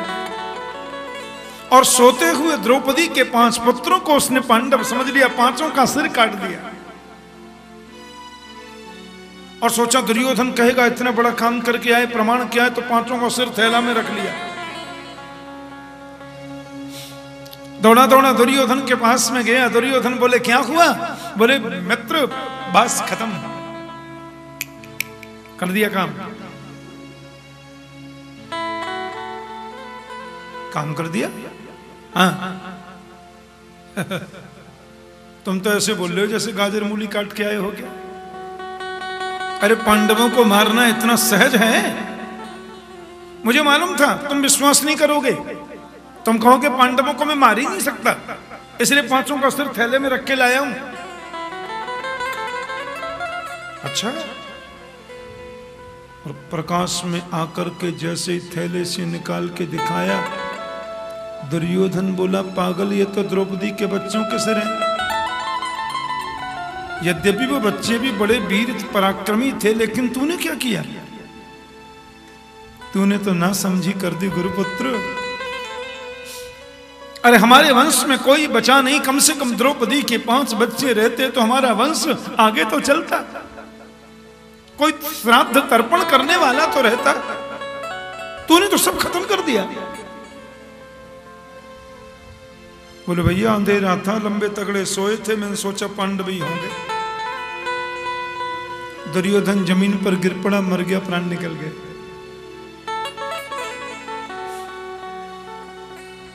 द्रौपदी ने सुना, बहुत रोई, कि माता शिशूनाम निधनम सुतानाम निशम्य घोरम परितप्यमाना। क्या बिगाड़ा था मेरे बच्चों ने? क्यों मार दिया आखिर? अश्वत्थामा ने उन्हें। अरे गुरुपुत्रों ने यह गलती क्यों की? द्रौपदी खड़ी हो जाए, फिर रोए, खड़ी हो जाए, फिर रोए, गिर पड़े। सैकड़ों नारियाँ आ गई। देखो छोटे बच्चे, क्यों मार दिए? अर्जुन ने अपने गांडीव को उठा करके प्रतिज्ञा कर ली, देवी, तुम्हारे पाँच पुत्रों को मारने वाले पापी अश्वत्थामा आकाश पाताल में कहीं भी होगा, मैं छोड़ नहीं सकता। और गांडीव हाथ में लेकर के मारने के लिए महात्मा अर्जुन दौड़े तो आगे अश्वत्थामा दौड़ रहा है।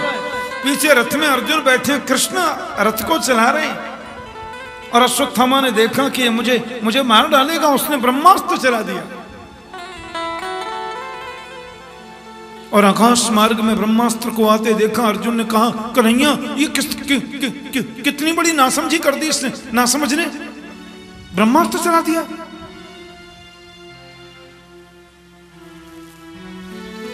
कछु तो मियाँ बाबरे कछु पी ली भाँग। द्रोणाचार्य ने ही सारे अस्त्र पांडवों को सिखाए थे, पर अपने बेटे को नहीं सिखाया जिस आदमी का बात बात में बीपी हाई हो जाता हो, बात बात में क्रोध जिसको आता हो, उसके हाथ में बंदूक दे दोगे तो काम गड़बड़ी करेगा ना? दुनिया का सबसे बड़ा जो नासमझ राष्ट्र है, वो हमारी पड़ोस में ही तो है। और उसको फिरकनी हाथ लग गई है।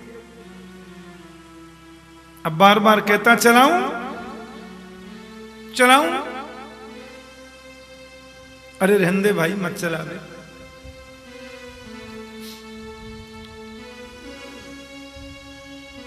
नासमझ व्यक्ति के हाथ में तलवार दोगे तो नाक पर मक्खी भी बैठेगी तो तलवार से ही मारेगा। पांडव कौरवों को जब द्रोणाचार्य ब्रह्मास्त्र की शिक्षा दे रहे थे तो छुपकर इसने चलाना सीख लिया। लौटाना फिर भी नहीं जानता। और जैसे ब्रह्मास्त्र को आते हुए देखा, और गोविंद से बोले, प्रभु, कुछ करो। कृष्ण कृष्ण महाबाहो। भक्ता नाम अभयंकर तुम्हें दही माना नाम अपवर गोशी संस्रते। कुछ करो कन्हैया ये तो ये ये ये ये, ये क्या कर दिया इसने? ये जो परमाणु अस्त्र होते हैं वो ब्रह्मास्त्र का ही रूप है।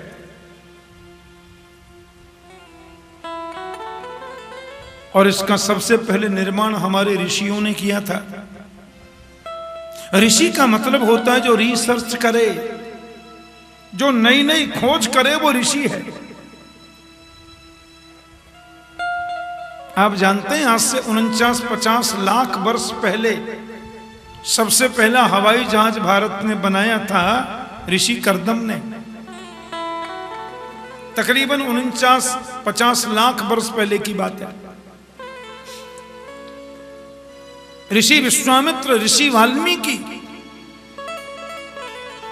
ऋषि करदम। ये सब वैज्ञानिक ऋषि हैं। रामायण में लिखा है। सीताराम गुणग्राम, पुण्यारण्य बिहारिण, वंदे विशुद्ध विज्ञान कवीश्वर कपीश्वर। बंदे विशुद्ध विज्ञान। ये विशुद्ध विज्ञानी है ऋषि वाल्मीकि। और ऋषि वाल्मीकि ने तो राम के पुत्रों को ऐसी तालीम दे दी महाराज, कि वो हनुमान जी, पवन तनय बल, पवन समाना, पवन पुत्र हनुमान उड़ गए आकाश में, पर्वत ले आए। राम के बेटे लवकुश ने, जो वाल्मीकि मुनि के शिष्य हैं, दोनों ने हनुमान को रस्सी से बाँध के खंभे में लटका दिया, खंभे से बाँध दिया। जानकी अम्मा ने कहा, क्या लाए हो? बोले, बंदर लाए हैं। खेलने के लिए। हनुमान जी बोले अच्छा। भरत जी महाराज बड़े पराक्रमी, उनको बाँध दिया। लखन जी महाराज बोलते थे, मैं ब्रह्मांड को उखाड़ के, हैं? वो गेंद के जैसे ब्रह्मांड फेंक दूँ। उनको भी लाइन में लगा दिया। ये तो भाग्य अच्छा था कि राम जी वहाँ नहीं गए थे। नहीं, राम जी को भी चंदा तारे दिख जाते, बोलो जय श्री कृष्ण। ऐसे राम के पुत्र हैं दोनों लवकुश।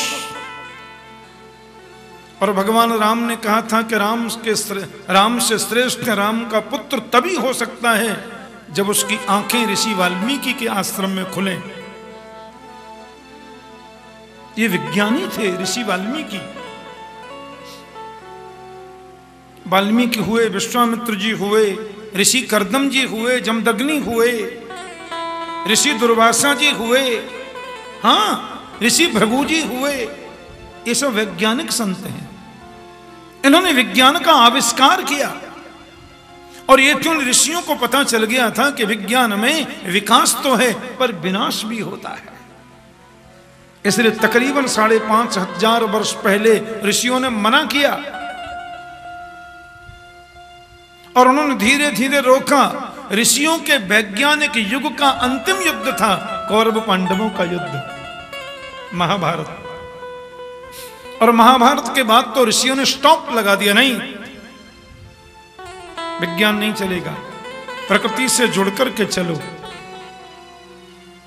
और वही ऋषियों की पुस्तकों में खोज किया हुआ विज्ञान का आविष्कार आज से तकरीबन 200 वर्ष पहले वो पुनः थोड़ा थोड़ा सुलगने लगा।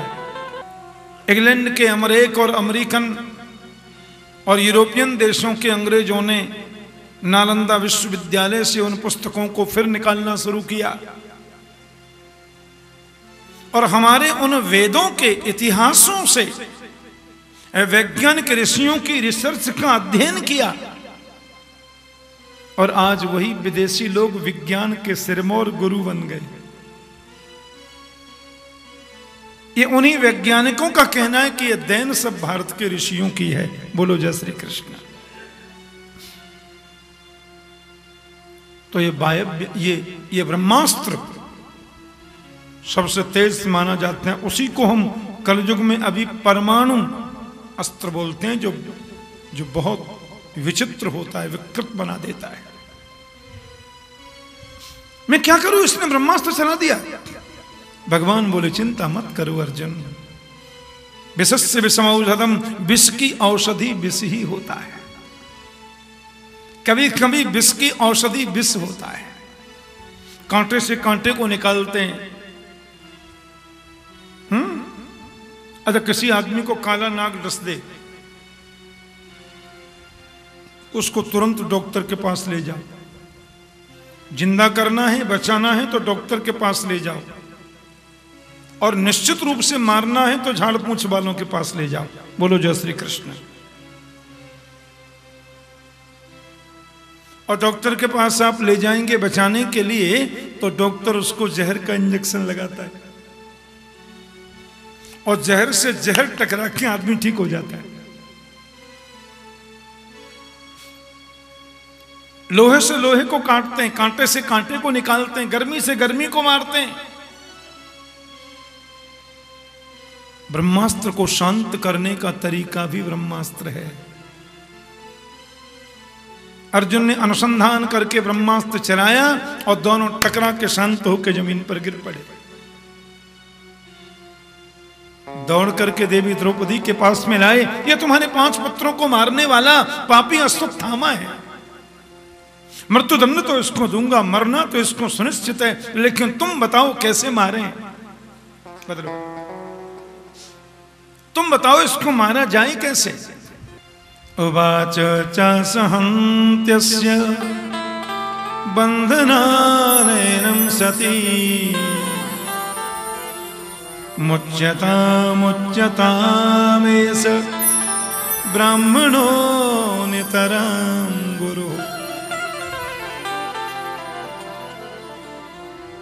द्रौपदी बोली, मत मारो। अर्जुन का क्यों? अरे, सोते हुए तुम्हारे निरपराध बच्चों को इस दुष्ट ने मार दिया और एक नहीं पाँच पाँच बच्चे मार दिए। तुम कहती हो उसको छोड़ दो? द्रौपदी बोली, मैं माँ हूँ और एक माँ ही दूसरी माँ के हृदय की वेदना को समझ सकती है। अरे कम से कम मुझे यह विश्वास तो है कि मेरे पाँच पति हैं। मेरे पाँच बेटे मारे गए, पर मेरे पाँच पति तो सुरक्षित हैं। ये तो अपनी माँ का इकलौता बेटा है। और इसके पिता, इसकी माता के पति को आपने युद्ध में ही मार दिया, द्रोणाचार्य को। और इकलौते बेटे को भी मार दिया तो इसकी माता गौतमी कितनी रोएँगी? उनकी स्थिति क्या बनेगी सोचो। ब्राह्मण तो गुरु होता है। और, और, और और यदि आप इसको मारना चाहते हैं तो मारिए मुझे इनकार भी नहीं है लेकिन मेरी एक शर्त है। अर्जुन बोले तुम जो शर्त रखोगी हम मानेंगे लेकिन इसको मृत्युदंड देंगे। द्रौपदी बोली तो इसको मारो मैं मना नहीं करती पर शर्त यह है इसको मारने से मेरे पाँचों बच्चे यदि तुम जीवित कर सकते हो तो इसको मार दो। पर इसके मारने के बाद भी मेरे पाँच बच्चे तुम जीवित तो नहीं कर सकते। फिर एक ब्राह्मण को मारकर ब्रह्म हत्या मोल क्यों लेना चाहते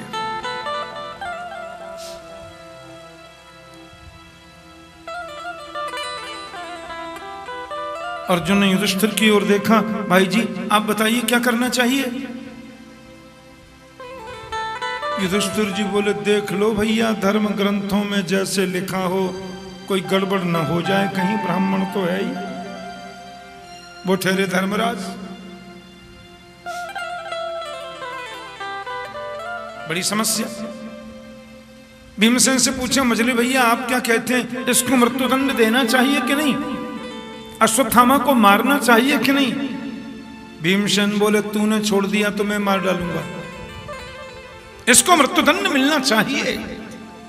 नकुल सहदेव बोले, भैया, ठीक कह रहे हैं। द्रौपदी कहती है, मत मारो। भगवान वहीं खड़े थे। द्वारिकाधीश बोले हमसे कोई पूछता ही नहीं है तो हम काय को बोले? बिना पूछे किसी को राय मत दो, और कोई अन्याय से पूछे तो बिल्कुल मत दो। अर्जुन ने तुरंत कृष्ण को प्रणाम किया, ध्यान से सुनना। केशव में बहुत धर्म संकट में पड़ गया। इसने पाँच पाँच बच्चों को सोते हुए निरपराध बच्चे मारे हैं। इसको मृत्युदंड तो मिलना चाहिए ना? लेकिन द्रौपदी कहती है, मत मारो भैया, युधिष्ठिर कहते हैं, देख लो। भीमसेन कहते हैं, ज़रूर मारो, छोटे भाई अनुमोदन करते हैं। मेरा मार्गदर्शन करो मेरे सदगुरु। भगवान ने कहा, देखो, एक बात बताते हैं हम। अब तुम मेरे बुआ के बेटे हो, इसलिए मैं कुछ कहूँ ऐसा नहीं। तुम मेरे शिष्य हो, इसलिए मैं तुम्हारा पक्ष लू ऐसा नहीं। जो धर्मनीति है, वो मैं तुमसे कहना चाहता हूँ। अर्जुन बोले, बताइए, भैया, शास्त्र की धर्मनीति कहती है कि ब्रह्म बंधुर्न हंतव्य आतताई बधारहण मयैव भयमान्नातं परिपाह्यनुशासनम्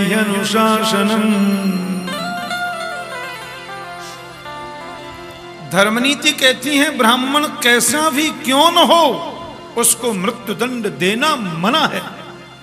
बहुत ध्यान से सुनना।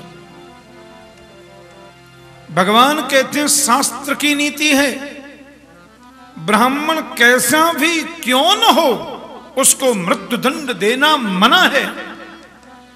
और बालकों का हत्यारा कोई भी क्यों न हो, उसको छोड़ना मना है। बालकों का हत्यारा कोई भी क्यों न हो, उसको मृत्युदंड देना चाहिए।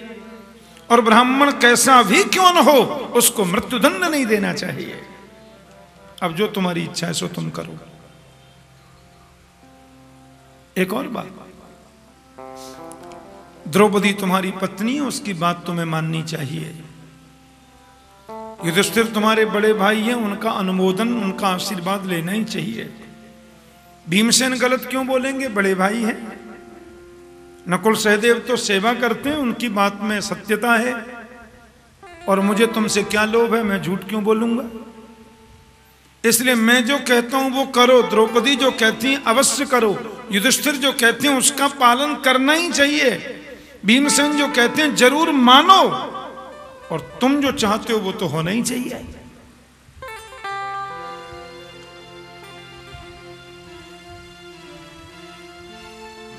सब लोग चुपचाप खड़े हैं।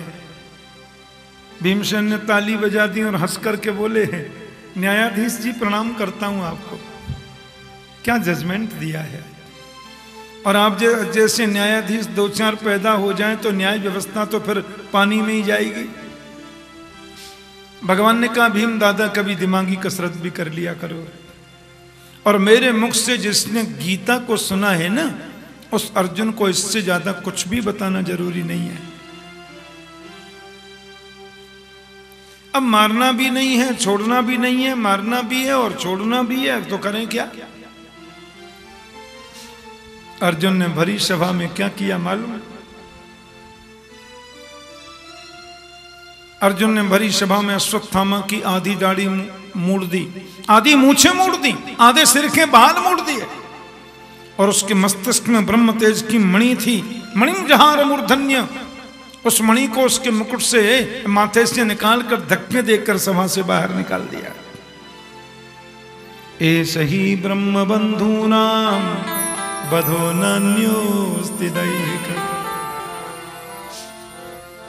प्रश्न मृत्यु दंड देने से नहीं है। मारने में लगता क्या? सात आठ ग्राम की गोली होती है, मार दो आदमी, खत्म। ये कोई मौत है?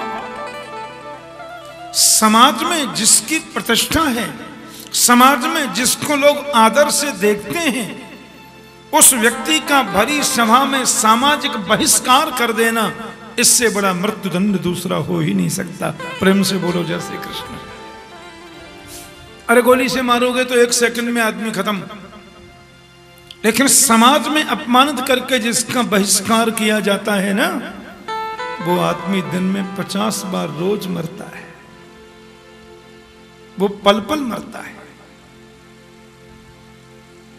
मृत्युदंड दे भी दिया और मारा भी नहीं। अश्वत्थामा के मन में तो ईर्ष्या आ गई हमारे जीवन का सबसे बड़ा दुर्गुण है ईर्ष्या और आलस्य। आलसी मत बनो। आज भारत की जो ये दुर्गति हो रही है ना, इसका मूल कारण ये दोनों ही है। जापान तीन बार खत्म हो गया, लेकिन तीनों बार दमदारी से उठा। जापान में लोग क्या करते हैं मालूम है, या हड़ताल करते हैं तो आठ घंटे की जगह बीस घंटा काम करेंगे। यहाँ बाँध लेंगे काली पट्टी। और 20 घंटे काम करेंगे। मालिक कहेगा, अरे भाई, अरे आई एम सॉरी अरे गलती हो गई भाई, तुम्हारी सब मांगे मंजूर, भैया बीमार हो जाओगे, अब मत करो, बस बस बस। तुम्हारी मांगे मंजूर। ये तरीका है वहाँ हड़ताल का। हमारे यहाँ हड़ताल करेंगे तो जिस फैक्ट्री में काम करते हैं, पहले उसी को तोड़ेंगे। सरकारी वाहनों में आग लगाएँगे, भारत माता के सपूत। टायर जला रहे हैं। बस ने क्या बिगाड़ा जी आपका? सरकारी संपत्ति उसको नुकसान क्यों? रेल में आग क्यों? ये पद्धति जब तक इस राष्ट्र की बनी रहेगी, ये राष्ट्र कभी उन्नत नहीं हो सकता, ये कन्फर्म है। बोलो जय श्री कृष्ण। राष्ट्र प्रेम होना चाहिए। राष्ट्रीयता होनी चाहिए। आप तीस वर्ष से नौकरी कर रहे हैं, अमेरिका का नियम है। आप तीस वर्ष से नौकरी कर रहे हैं और आज आपको छोटा सा कार्ड दे दिया, बोले कल से मत आना। क्यों? काम नहीं है। आप रिपोर्ट नहीं कर सकते, आप आंदोलन नहीं कर सकते, आप हड़ताल नहीं कर सकते। करो तो करो। एक सेकंड में अंदर डाल देंगे। सुविधा यह है कि जब तक आपकी दूसरी नौकरी नहीं मिल जाती, आपको सरकार भोजन देगी। कार्ड मिल जाएगा। किसी भी रेस्टोरेंट पे जाके उस कार्ड को दिखाओ फ्री भोजन करो। जब तक सर्विस नहीं मिल जाती, आप हड़ताल नहीं कर सकते, तोड़फोड़ नहीं कर सकते। राष्ट्र उन्नत बनता है। ईर्षा से काम नहीं चलेगा आलस से नहीं, काम करिए। कर्म से ही सब कुछ मिलता है। ना भुक्तम क्षीयते कर्म जन्म कोट सतरपी अवश्यम एव भुक्तव्यम। कृतम कर्म शुभाशुभ आलसी आदमी ने अपनी उन्नति कर सकता है, राष्ट्र की तो कर ही नहीं सकता। उसने कहा, मैं पांडवों के वंश को निर्वंश कर दूँगा। है कौन? पांडवों के वंश में बचा ही कौन है? एक बेटा अभिमन्यु था अर्जुन का, वो युद्ध में मर गया। और पाँच बेटे और थे द्रौपदी के कल मैंने मार दिए। अब पांडवों के बाद तो उनका वंश निर्वंश ही हो गया ना जी। अश्वत्थामन का नहीं नहीं। अभिमन्यु की मौत के समय मैंने सुना था, उसकी पत्नी गर्भवती है।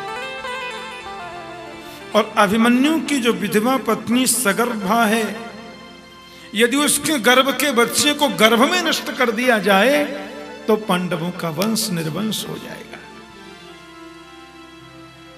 इतना घृणित, इतना छोटा विचार उसके मन में आ गया है। ऊंच निवास नीच कर तूती। कभी कभी व्यक्ति ऊँची गद्दी पर बैठकर भी सोच बड़ी नीची रखते हैं। कभी कभी कभी निम्न परिवार में जन्म लेने वालों की सोच बड़ी ऊँची होती है। यही देवत्व है, यही दानवत्व है। और अभिमन्यु की विधवा पत्नी, पति की मृत्यु के समय उसके गर्भ में नौ महीने का बच्चा था। और आज वो नौ मास पूर्ण कर रहा है। अपने आश्रम में बैठे बैठे अश्वत्थामा ने ब्रह्मास्त्र चला दिया। है मंत्रमय अस्त्र। और जैसी ब्रह्मास्त्र जिस पर चलाया गया, उसी को दिखेगा। अभिमन्यु की पत्नी उत्तरा सगर्भा दौड़ी दौड़ी कृष्ण के चरणों में गिर पड़ी कि पाखि पाखि महायोगिन, देव देव जगतपते नान्यम तदवयम पश्ये, यत्र मृत्यु परस्मरम हे गोविंद, रक्षा करो। हे मुरलीधर, बचाइए मुझे। कामम धातु माम नाथ, मामे गर्भो निपात्यताम। ये ब्रह्मास्त्र आकर के मुझे जला के भस्म कर दे, इसकी चिंता नहीं है, पर मेरे गर्भ के बच्चे को बचाओ, मुरलीधर। यदि ये गर्भ का बच्चा नष्ट हो गया तो पांडवों के वंश में कोई तर्पण करने वाला नहीं बचेगा। अब आप सोचें कितनी तीव्र गति से ब्रह्मास्त्र चलता है। और वो आ रहा है उत्तरा रोती रोती गोविंद के चरणों में गिर पड़ी। कहते हैं, भगवान महाभारत में दो ही बार रोए। एक बार जब अभिमन्यु निहत्थे को इन कौरवों ने अकेला करके निर्दयता से मारा तो मेरे गोविंद अपने आंसुओं को रोक नहीं सके। और एक आज अश्वत्थामा की इस घृणास्पद सोच पर रोए। इस बच्चे ने किसी का क्या बिगाड़ा? क्यों कोई इसको मारना चाहता है? भगवान ने कहा, बेटी तो बिल्कुल चिंता मत करे। मैं सुरक्षा करने का प्रयास करता हूँ। और ब्रह्मास्त्र उस गर्भ के बच्चे के विनाश के लिए आ रहा है। कृष्ण ने सूक्ष्म रूप लिया और उत्तरा के गर्भ में ही प्रकट हो गए। बोलो, जय श्री कृष्ण। एक रूप से बाहर खड़े हैं भगवान। कुछ ओठ हिला रहे हैं, कुछ मंत्र सा पढ़ने का नाटक कर रहे हैं। लेकिन अंगुष्ठ मात्र के बनकर कृष्ण उधर में चले गए। ऐसा लिखा है। अंगुष्ठ मात्रम पुरुषम बसंतम और गर्भ में जाकर के मेरे परमात्मा ने जो गर्भ का बच्चा है, उसको चारों तरफ़ से कवच से ढक दिया। श्रीमद दीर्घ चतुर्बाहुम चार भुजाएँ धारण कर ली और अपनी गदा को प्रभु ने उस बच्चे के चारों तरफ़ सुदर्शन चक्र की भांति घुमाया, गर्भ में, अंदर पेट में। और ब्रह्मास्त्र से बच्चे की रक्षा कर दी। शौनकादि ऋषि बोले, ये तो बड़ा भारी आश्चर्य है। भगवान ने गर्भ में रक्षा करी। सूत जी बोले, आश्चर्य तो है ही नहीं। और आश्चर्य है भी। बोले, क्या आश्चर्य है और क्या नहीं है? तो सूत जी बोले, भगवान ने गर्भ में प्रकट होकर के बच्चे की प्राण रक्षा करी, ये आश्चर्य नहीं है।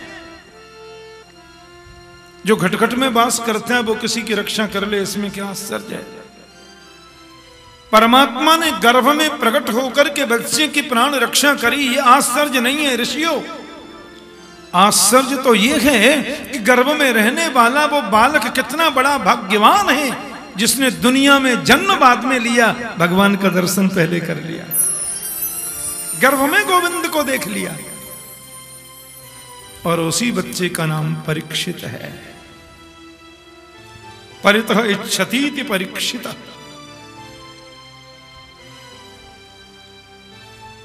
इसी बात की परीक्षा उसने जीवन भर करी कि वो परमात्मा कहा है जिसने मुझे गर्भ में बचाया था। परित इच्छती ये इच्छा रखी उसने जीवन में। एक बात कहूँ,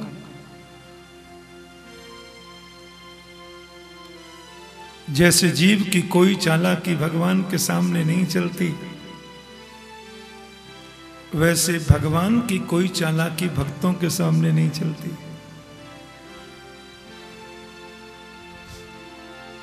वो कितना ही नाटक कर ले, कितना ही प्रयास कर ले प्रभु रक्षा। कितना ही वेश बदल ले, भक्त सब समझता है क्योंकि उसकी आँखों में भक्ति की दूरबीन लगी है। और माता कुंती ने कृष्ण के इस दृश्य को प्रत्यक्ष देखा। कृष्ण की भुआ भी लगती है कुंती, और कुंती ने जो स्तुति गाई है, वो गजब है।